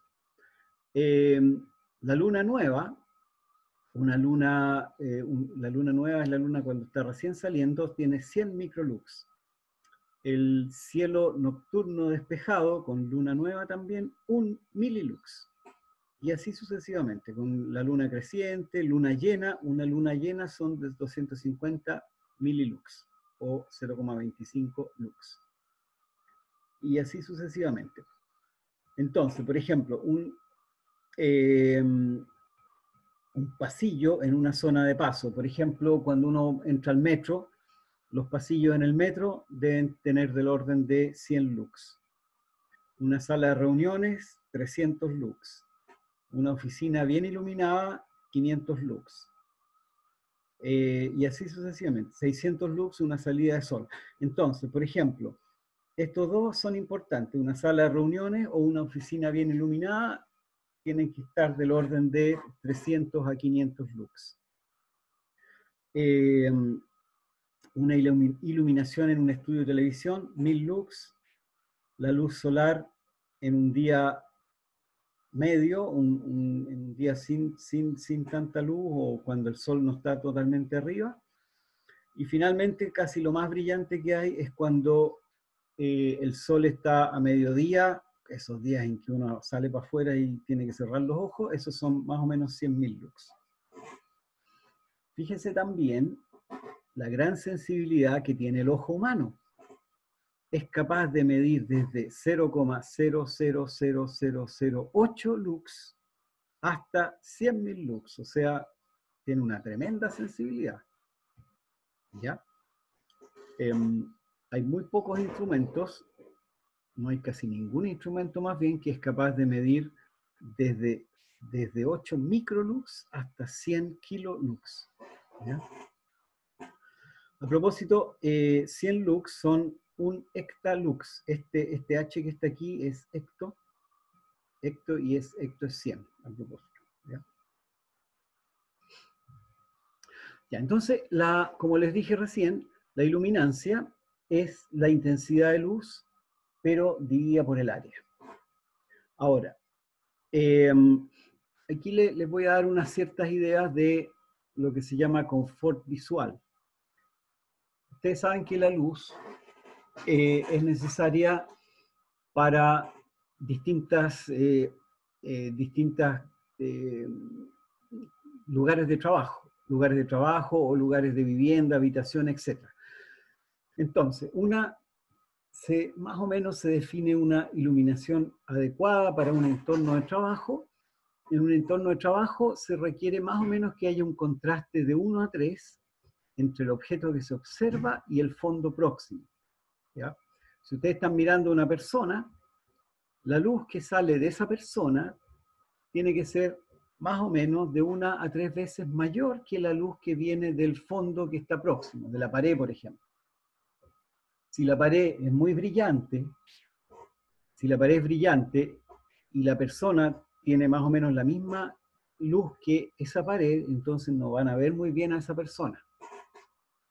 Eh, de 1 a 5 en una superficie de trabajo en general. ¿A qué, ¿A me refiero esto? Si ustedes están, por ejemplo, en, una, en un escritorio, están trabajando con un, un computador o con un papel o lo que sea, la luz de ese papel o de ese computador es ideal que, está, que sea de 1 a 5 veces mayor que la superficie que hay en el fondo. Aquí hay otros definidores lumínicos, también valores generales, eh, que se requieren para distintas actividades. Por ejemplo, actividades que requieren mucho esfuerzo óptico, dibujo de precisión, joyería, más o menos se requieren 1000 lux de iluminación. Actividades con esfuerzo visual alto o muy alto de poca duración, lectura, dibujo, etc., 750 lux. Actividades con esfuerzo visual medio, 500 lux. Y actividades de esfuerzo visual bajo o actividades de relajación o mm, descanso, 250 lux. Circulación, por ejemplo, circulación, reuniones, bueno, reuniones no tan complicadas, 250 lux, más o menos. Entonces, eso, si se fijan, eh, muchos de los edificios, lugares públicos, tienen ese tipo de iluminación. Si ustedes van y miden cuál es la luz que hay en un pasillo del metro, se van a fijar que es del orden de los, qué sé yo, 100, 200, 500, 300 lux, una cosa así.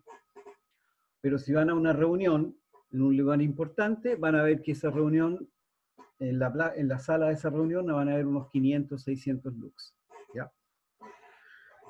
Eh, cuando los niveles de luz se alejan demasiado de estos valores, entonces las personas van a tener algunos problemas para poder trabajar bien.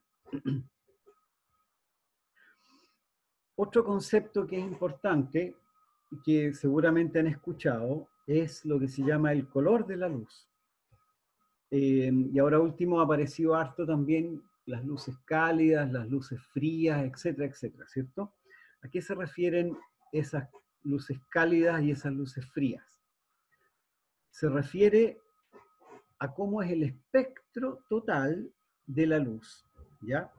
La luz fría, por ejemplo, la luz fría no es luz azul.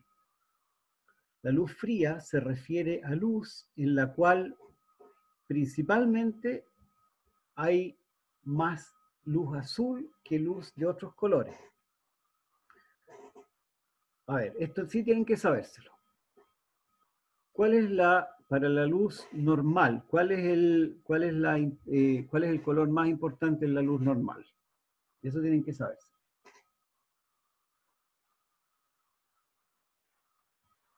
Vamos a ver a quién podemos. Fr- Francisca, no, Guillermo Guzmán. ¿Cuál es la luz más importante en. eh, eh, ¿Cuál es el color más importante en la luz normal? ¿A quién le pregunté? A Guillermo Guzmán. Eh, según dijo la otra vez, era el verde, ¿no? Exactamente, el verde. ¿Y por qué el verde? Entre, en realidad el verde y el amarillo, entre, entre esos dos colores. ¿Por qué esos colores porque esos son los colores del sol. El sol emite principalmente luz amarilla y verde. Por lo tanto, esa es la luz para la cual el sol, el ojo está acostumbrado. Y a eso se le llama luz neutra. Entonces, cuando hay luz neutra, ahí. la luz neutra es la luz que viene del sol. Y esa luz tiene principalmente, los colores más importantes son amarillo y verde. Esa es la luz a la cual el ojo está acostumbrado. Y, la luz para la cual el ojo y, la- y el ser humano responde mejor y, se siente mejor, podría decirse. O más bien, sí, se responde mejor. Ahora, la luz fría es una luz en la cual eh, hay más azul que amarillo y verde. Es una, es una luz, fíjense, fíjense en estos diagramas que tengo acá. Este que está aquí al medio, estos colores que se ven acá, son los colores del sol. El sol tiene principalmente amarillo y verde, ¿cierto? Y después tiene azul, tiene todos los colores, pero los principales son amarillo y verde. Después morado, azul son menos, rojo también es menos. La luz azul o la luz fría tiene un poco más de azul que amarillo y verde. Por supuesto, tiene también de los otros colores. Tiene rojo, tiene amarillo, etcétera, etcétera, pero tiene más azul comparativamente, tiene más azul. Por eso se le llama luz fría. ¿Por qué fría? Porque el, ser humano no está acostumbrado a ese tipo de luz. El ser humano está acostumbrado a la luz del sol y la luz del sol tiene más amarillo y verde. ¿Estamos? Por eso que la luz fría es a veces más desagradable. Pero esa luz fría se usa muchas veces en reuniones para que la gente esté un poco más atenta. ¿Ya? Porque si la luz es muy, si la luz es muy suave, uno se queda dormido, y si la luz es más como desagradable, uno está más despierto. Pero bueno, esos son, son, eh, es- esos son los efectos un poco psicológicos de la luz. ¿Y cuál es la luz cálida? La luz cálida es la luz que tiene más, más rojo que amarillo y verde. Entonces, eh, se le llama luz cálida, ¿por qué? Porque es más roja o más, eh, es más roja, claro. ¿Y qué característica tiene? Ustedes la saben, pues la, luz cálida tiende uno a, estar como más relajado, más tranquilo. ¿Por qué es eso?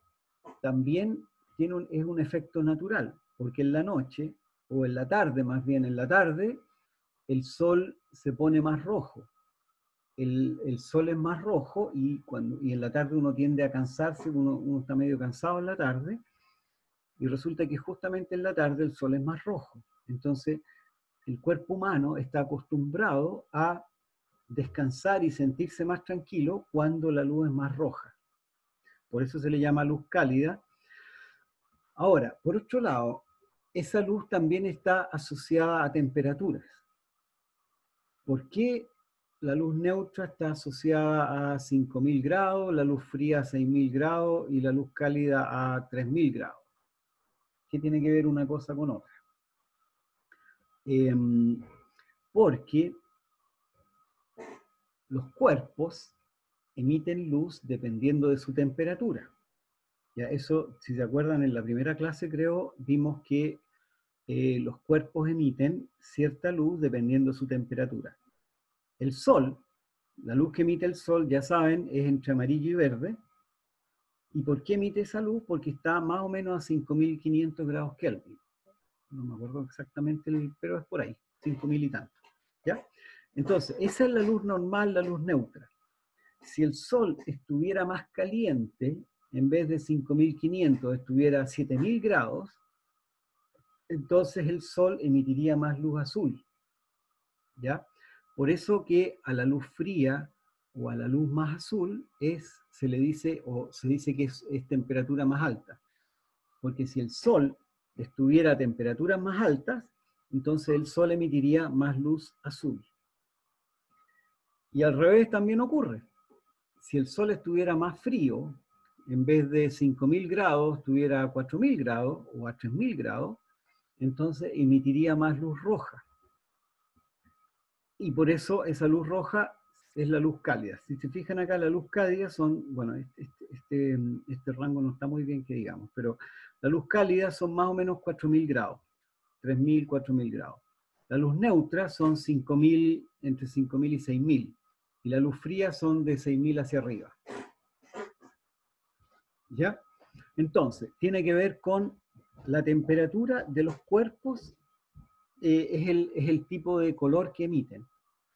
Si está más frío, emite colores más rojos. Si está más caliente, emite colores más azules. ¿Ya? Entonces, pero acuérdense bien, siempre, emiten, siempre se emiten todos los colores. Lo que pasa, la diferencia es que un, un color es más importante que el otro, pero siempre se emiten todos los colores. ¿Ya? Eh, se ha hablado bastante de, también de, la, de, los, eh, de los tubos fluorescentes. Los tubos fluorescentes son colores fríos. ¿Por qué son colores fríos? No es porque, si ustedes tocan un tubo fluorescente, el tubo es más o menos frío, no, no, no se calientan mucho los tubos. Pero resulta que los tubos fluorescentes emiten, luz, emiten bastante luz azul. Y por eso se ven como que estuvieran eh, fríos. Se ven como que fueran luz, eh, luz de temperaturas más altas, luz de 5.000, 6.000, 7.000 grados. ¿Ya? Entonces, eso, a eso se refiere el color de la luz. Entonces, eh, y de nuevo, los colores de la luz también tienen un poco que ver con los ambientes donde vamos a trabajar. Eh, espacios donde el color es importante. ¿Qué, qué, ¿Qué, importa en ese caso? Que la luz tenga, que sea el color más normal posible, más natural, que sea lo más parecida a la luz del sol posible. Y esos son entre 4000, bueno, está medio raro. Este, 5000 a 6000 Kelvin es eh, el color que corresponde a espacios donde el color es importante. Si el color no es crítico, entonces pueden ser temperaturas un poco más bajas o colores más rojos. Acuérdense, si la temperatura es más baja, se emiten colores más rojos. Y espacios donde importa poco el reconocimiento cromático del trabajo, también eh, colores más rojos. Pero para ver bien los colores es importante que la luz sea lo más parecida a la luz solar posible. O sea, que tenga un máximo en el amarillo y el verde. ¿Ya? Los demás, em, los pintores, por ejemplo, los pintores tienen que usar luces que sean lo más parecible a la luz solar. Un pintor, por ejemplo, que usa solo luz fluorescente para iluminar sus obras, seguramente no va a generar los colores que corresponden. ¿Por qué? Porque la luz fluorescente tiene más azul que más eh, colores más azules. Ya. Eh, vamos a hacer un ejercicio. Este ejercicio también es un poco complicado y va a haber que hacer geometría, eh, pero vamos a tratar de que se entienda lo mejor posible. ¿ya? A ver, vamos a ver qué hora es primero.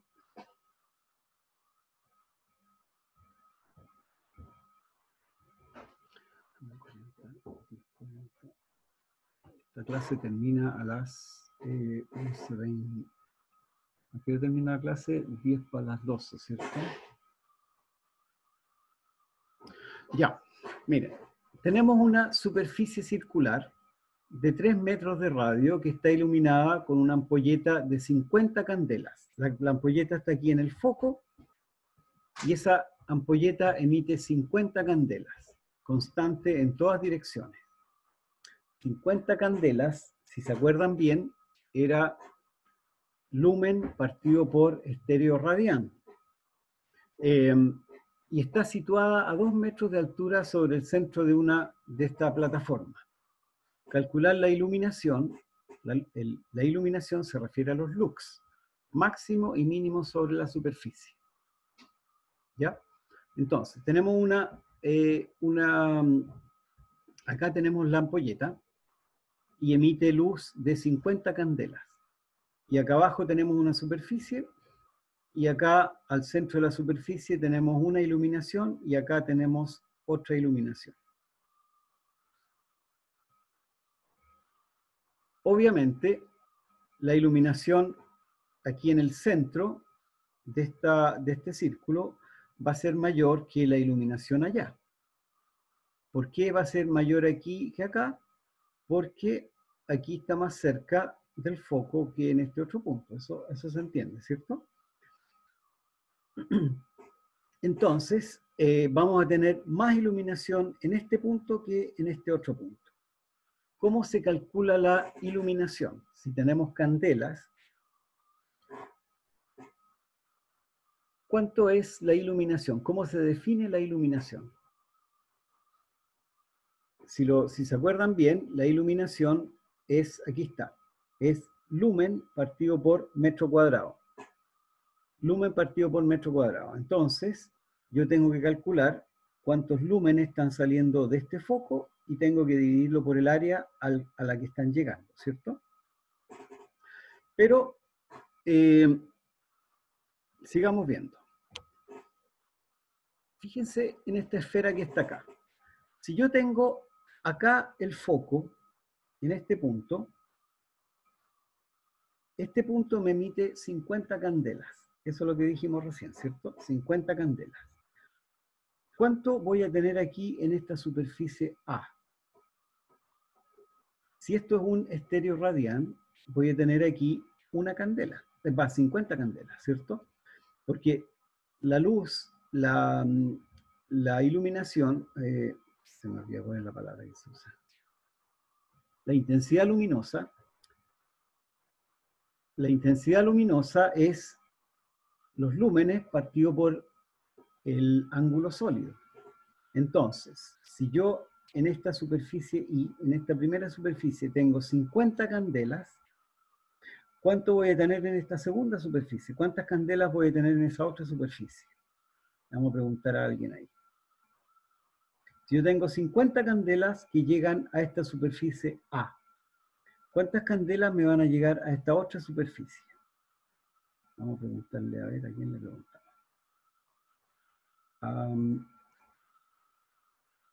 a Javiera Miño. La pregunta es la siguiente. Si yo tengo 50 candelas aquí en esta superficie A, ¿cuántas candelas voy a tener en esta otra superficie de acá? A Javiera Miño.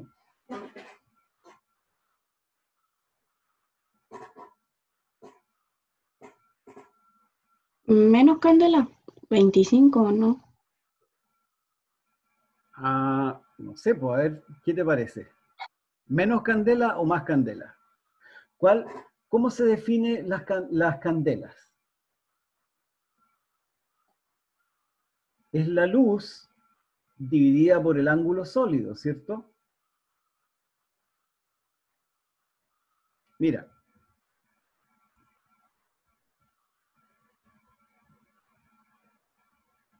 Las candelas es la luz, el lumen, lumen es la cantidad de luz, dividido por estéreo radián. Estéreo radián es el ángulo sólido. Si yo en esta superficie A tengo 50 candelas, ¿cuántas candelas voy a tener aquí en esta otra superficie grandota?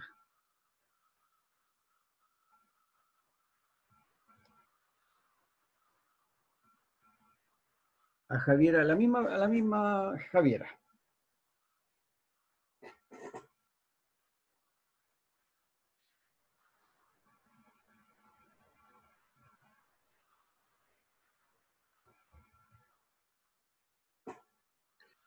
Buena pregunta, ¿cierto?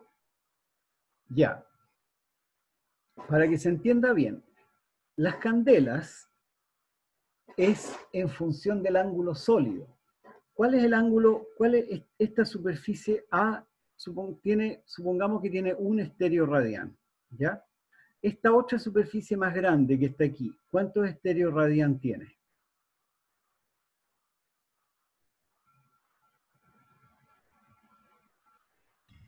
Cuatro veces más, ¿o no, profe? Es lo mismo. Es lo mismo. ¿Se mantendría la candela o no? Es la- las mismas 50 candelas. Acuérdense que las candelas son por ángulo sólido. El ángulo sólido, miren, el ángulo sólido que tengo aquí en la superficie A es el mismo que el ángulo sólido que tengo acá, ¿cierto? Y el mismo que tengo acá.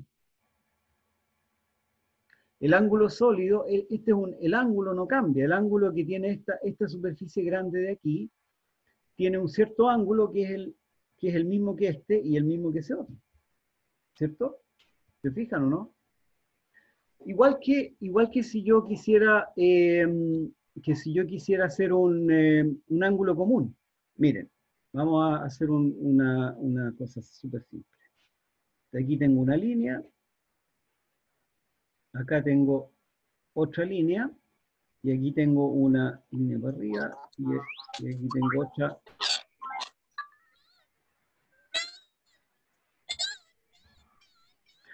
Fíjense, fíjense en este dibujito que hice recién. Esta flecha, ¿qué ángulo tiene esta flecha? ¿Cuál es el ángulo que subtiende esta flecha de aquí? Ese de allá, ¿cierto? Esta otra flecha, ¿qué ángulo subtiende? El mismo. Este ángulo tiene el mismo, perdón, esta flecha subtiende o es parte o forma parte del mismo ángulo que esta otra flecha. ¿Ya? Lo mismo acá arriba. Es el ángulo sólido que tiene esta superficie de aquí, que, es, que dice 4A, de 4A, tiene el mismo ángulo sólido que esta otra superficie que tiene A.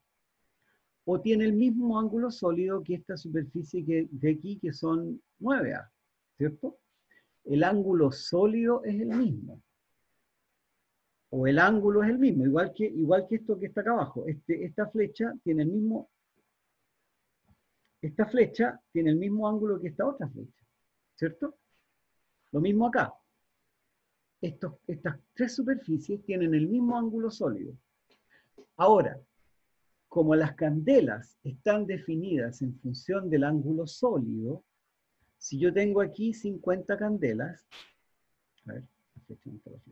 Ahí, si yo acá tengo 50 candelas, acá también voy a tener 50 candelas y acá también voy a tener 50 candelas porque las candelas están definidas en función del ángulo sólido, no en función de la superficie. Ojo con eso, ¿ya? Entonces, por eso que estos conceptos no son complicados, son geometría, es, casi pura geometría, pero son conceptos que hay que tratar de entenderlos. Ya, entonces las candelas están definidas en función del ángulo sólido. Si el ángulo sólido no cambia, entonces las candelas no cambian. ¿Ya? Y en este caso tengo el mismo, el mismo ángulo sólido para estas tres superficies. Entonces, eh, lo mismo acá. Si yo en este punto, acá arriba, acá arriba tengo 50 candelas, acá abajo, en toda esta superficie grande, redonda, también voy a tener 50 candelas. ¿Por qué? Porque el ángulo es el mismo el ángulo sólido acá arriba en la cerquita del foco es el mismo ángulo sólido que tengo acá abajo. ¿Ya?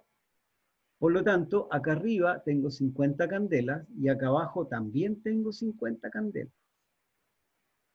Ahora, lo que nos están preguntando no son las candelas, sino son los lux. ¿Ya? Así que sigamos, sigamos viendo el problema. Estoy yéndome bien despacito para que se traten de entender bien estos conceptos, porque es importante que entiendan los conceptos de iluminación, eh, flujo luminoso y, y- ¿Cuál era el otro? Se me olvidan a mí también. Iluminancia, por un lado, intensidad luminosa y flujo luminoso. Son tres conceptos distintos, pero son, los tres tienen que ver con luz. Ya.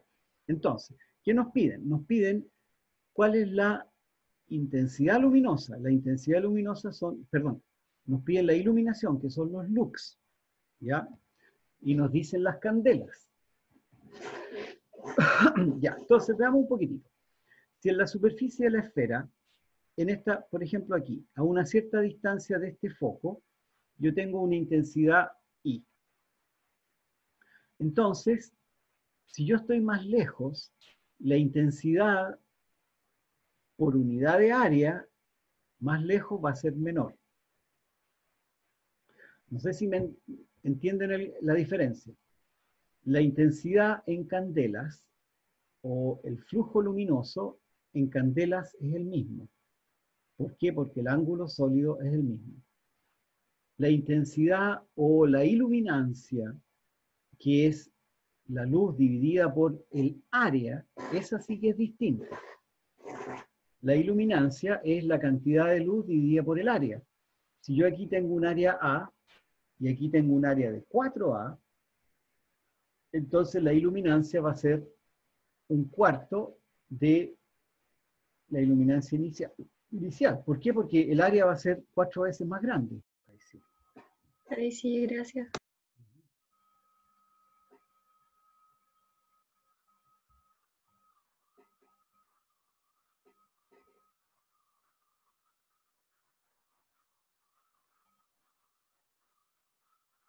Ya. Ahí entonces. eh, entonces, hay dos conceptos que son, son similares, pero tienen que ver con cómo se definen. Las candelas es la luz dividida por el ángulo sólido. Entonces, las candelas no cambian si el ángulo sólido es el mismo, ¿cierto? Por ejemplo, acá el área A tiene, el mismo ángulo sólido que esta área de 4A y tiene el mismo ángulo sólido que esta área de 9A. Entonces las candelas no cambian en este caso. Pero la iluminancia que se mide en lux, esa sí cambia. Porque la iluminancia es la luz dividida por el área. Entonces, en este caso el área es 1, en este otro caso el área es 4A y en este otro caso el área es 9A. Entonces, la iluminancia sí cambia. ¿Estamos? Entonces, por eso es que cuando uno está más lejos, hay menos iluminancia. Pero el flujo luminoso es el mismo. Ya entonces, ahí está el concepto que tienen que entender bien. Entonces, la iluminancia disminuye con el cuadrado de la distancia. Por ejemplo, acá, si yo tengo 2R, aquí tengo una distancia R, acá tengo una distancia 2R, el área en este caso es 4, cuatro veces el área inicial, por lo tanto, eh, la iluminancia disminuye como 1 partido por R cuadrado. Y aquí lo mismo, 1 partido por 9, entonces la iluminancia disminuye como 1 partido por R cuadrado. Los lux, los lux disminuyen como 1 partido por R cuadrado. Si ustedes, por ejemplo, están a una distancia de 2 metros y tienen 10 lux, si la distancia de 2 metros aumenta a 4 metros, ¿cuánto van a tener? En vez de tener 10 lux, van a tener 2,5 lux. ¿Vamos? Entonces, la iluminancia disminuye con el área. El flujo luminoso no. El flujo luminoso se mantiene igual. Entonces, calculemos primero la iluminancia para esta distancia de 3 metros. Acá, si se fijan, la iluminancia, la distancia es 2 metros, ¿cierto? Si yo tengo acá 50 candelas, a ver, miren, ¿cómo, el, ¿cómo se define la iluminancia? La iluminancia se define como lumen partido por área. ¿Cuál es el lumen? ¿Cuánto vale el lumen? Lumen, también por definición, es candela por estéreo radián. ¿Ya? Si a mí me dicen que en el problema este tenía un estéreo radián, tenía un estéreo radián o no? Ah, no, bueno, da lo mismo. Ya. Las candelas, perdón, el lumen es candela por estéreo radián. ¿Ya? Ahora, ¿cuál es el área que yo estoy, que yo estoy midiendo? El área es R cuadrado por estéreo radián. ¿De dónde salió esta formulita de aquí? ¿De dónde salió esta formulita de aquí? De lo que vimos recién del ángulo sólido, fíjense. ¿Dónde está el ángulo sólido? Por aquí anda. ¿Cuál es el ángulo sólido? El área, el área que hay acá, es el ángulo sólido multiplicado por R cuadrado. ¿Se fijan? El área es ángulo sólido por R cuadrado. Yo aplico eso acá. Acá. El área, entonces, que me cubre, eh, por ejemplo, esta área o esa área o esa área, el área es R cuadrado por estéreo radián. Se me van los estéreos radián y por lo tanto, y la iluminancia, ¿cómo me queda? 50 partido por 2 al cuadrado. 50 eran las 50 candelas, dividido por la distancia al cuadrado. La distancia son 2 metros, 2 metros al cuadrado, 50 candelas partido por 4 me da 12,5 lux. Entonces, aquí en este punto, ¿cuánto voy a tener? Voy a tener 12,5 lux.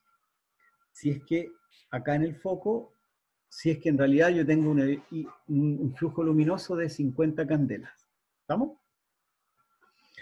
Ahora, ¿qué pasa en el punto más lejos? En el punto más lejos la distancia es distinta. Pero eh, hay un detalle. Hay un detalle. Cuando uno ilumina una superficie, eh, hasta ahora hemos hablado de iluminaciones simples. La iluminación depende del ángulo al cual llega la luz.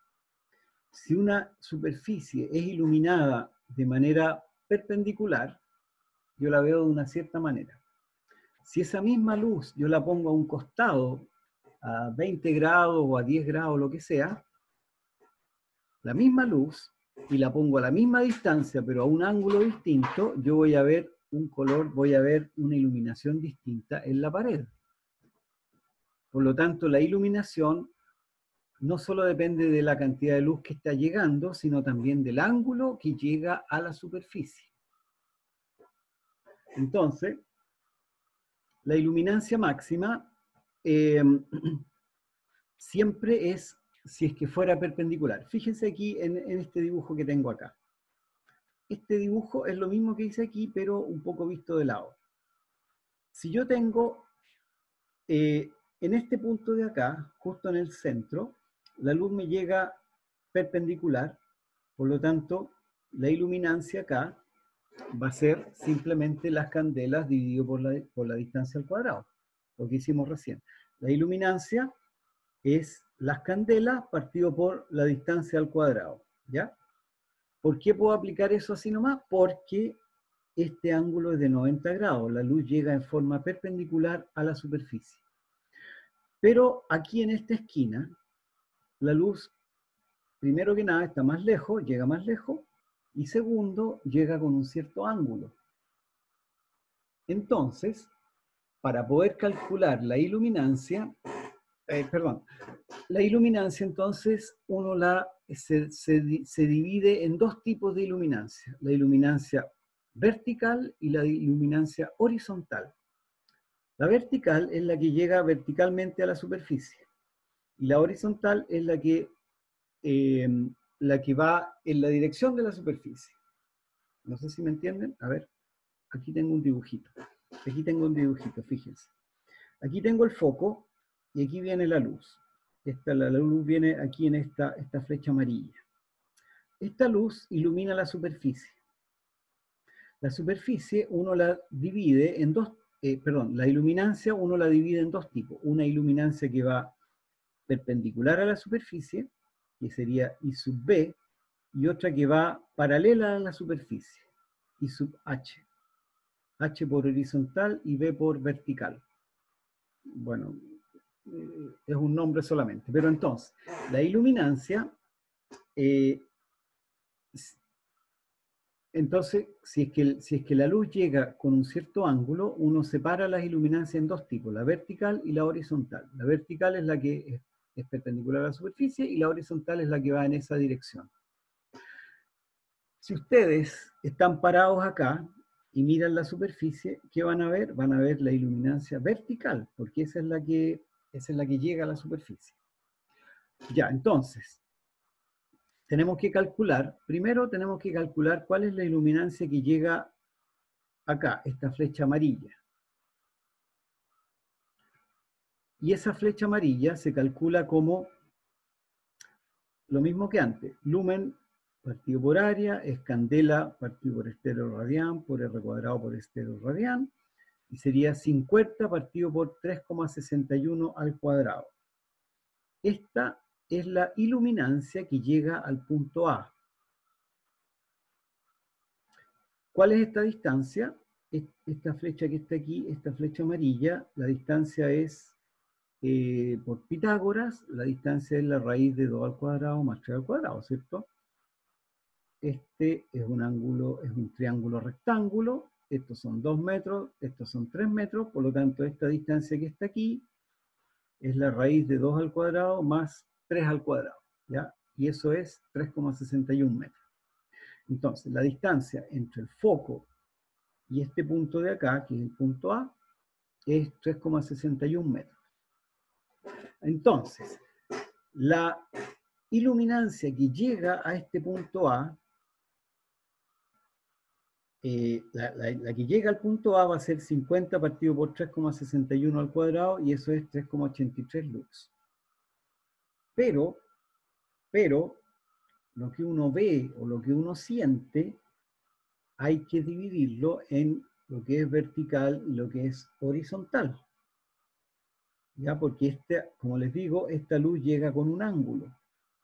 Y lo que nos interesa es la luz que es vertical, la que es perpendicular a la superficie. Esa es la luz que nos interesa porque la otra se va en otras direcciones. ¿Estamos? Entonces, fíjense que ahí hay una diferencia en la iluminación. ¿Cómo calculamos la componente vertical? Si se fijan, la componente vertical tiene un ángulo alfa con la línea perpendicular. Este ángulo alfa es el mismo que ese, y este ángulo de aquí es el mismo ángulo que está allá. Por lo tanto, para calcular la componente vertical de la iluminancia, yo multiplico eh, esto por, ¿por qué cosa? A ver, ¿alguien me dice por ahí? ¿Cómo calculo? Si yo tengo la iluminancia total que llega al punto A, ¿cómo calculo la iluminancia vertical? Sabiendo el, sabiendo el ángulo alfa. Así que no está muy perdido ya.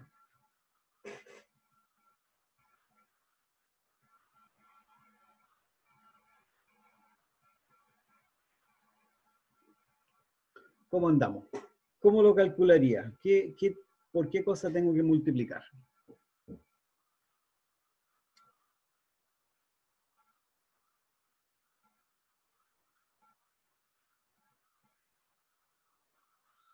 Si yo quiero proyectar una línea, fíjense, yo tengo esta línea amarilla que está aquí, y quiero proyectar esta línea amarilla sobre esta línea azul. ¿Cómo lo hago?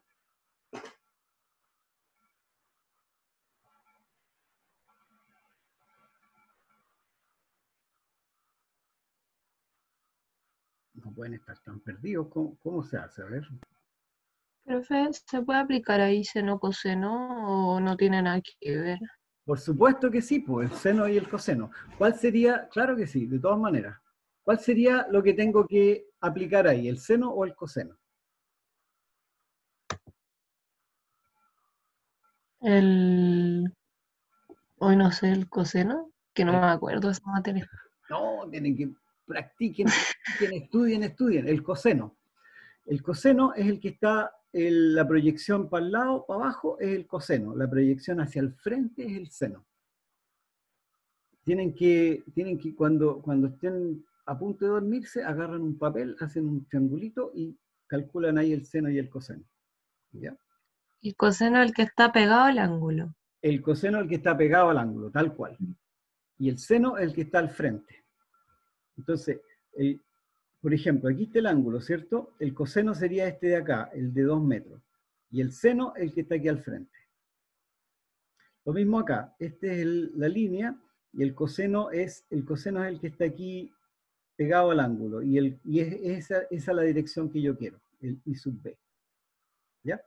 Entonces, eh, para calcular el, para calcular la iluminancia vertical, o sea, esa, o sea, esta flecha azul que tengo aquí, multiplico la iluminancia que me llega al punto A por el coseno del ángulo. Bueno, el ángulo vale 56,3, entonces la iluminancia es 3,83 por el coseno del, á- del ángulo alfa ese, y me da 2,13 lux. Y eso sería la iluminancia vertical. ¿Ya? Em, y yo creo que, y creo que esa era la última, ¿cierto? Sí. Ya, em, les voy a subir esta presenta, esta, este PowerPoint y por supuesto también el, el video, pero eh, practiquen un poco esto, porque acuérdense que los trigo- trigonometría es básica para cualquier arquitecto, ¿ya? Saber bien lo que son los cosenos, senos, es muy importante que lo sepan. Y especialmente porque ahora lo estamos aplicando directamente a, a la iluminación. ¿Ya? Así que em, creo que eso sería por ahora y nos veríamos la próxima semana. Tienen, me imagino que tienen dudas, pero ¿alguna duda fácil de responder? Profe, eh, una consulta, ¿qué era la luminancia vertical? Creo que era lo último que preguntó, La conceptualmente. sí, la iluminancia vertical era, eh, fíjense, la iluminancia es la luz que llega a una superficie, ¿cierto? Esa iluminancia se divide en dos tipos, la vertical, que es la, la que es perpendicular a la superficie, y la horizontal, que es la, la que va en la dirección de la horizontal. A ver, em, es que esto tiene que ver un poco con vectores. Esta flecha, esta flecha amarilla que tengo acá, es lo mismo, eh, yo la puedo descomponer o la puedo, puedo usar como dos, esta, esta flecha de aquí más esta otra flecha de acá. Eso tiene que ver con vectores, a ver, ¿cómo lo puedo explicar? Miren, cuando uno tiene vectores, vectores es un- una dirección que uno, una direc- algo que tiene una dirección. Miren, si ustedes están en el foco y quieren irse al punto A, ustedes se pueden ir por dos lados. Se pueden ir derecho por esta línea amarilla, o se pueden ir por esta línea roja y después por esta línea morada. Van a llegar, en ambos casos van a llegar al punto A, ¿cierto? Los vectores significa que esta dirección que se caminan en, un- en una dirección más esta otra dirección les va a dar la flecha amarilla. O sea, esta dirección más esta dirección es lo mismo que esta dirección de acá. Eso es un poco los vectores. Esta iluminación vertical más la iluminación horizontal les da la iluminación total, que sería la flecha amarilla. ¿Ya? Eso es lo que estoy, estoy tratando de explicar. La iluminación uno la puede descomponer en dos partes, una iluminación vertical y una horizontal. Y la suma de esas dos iluminaciones me va a dar la iluminación total. O sea, la suma de esta flecha azul más esta otra flecha azul me va a dar la flecha amarilla. ¿Se entiende un poco, cierto? Sí, profe, me quedó mucho más claro, gracias. Eso. Em, ¿Alguna otra duda por ahí?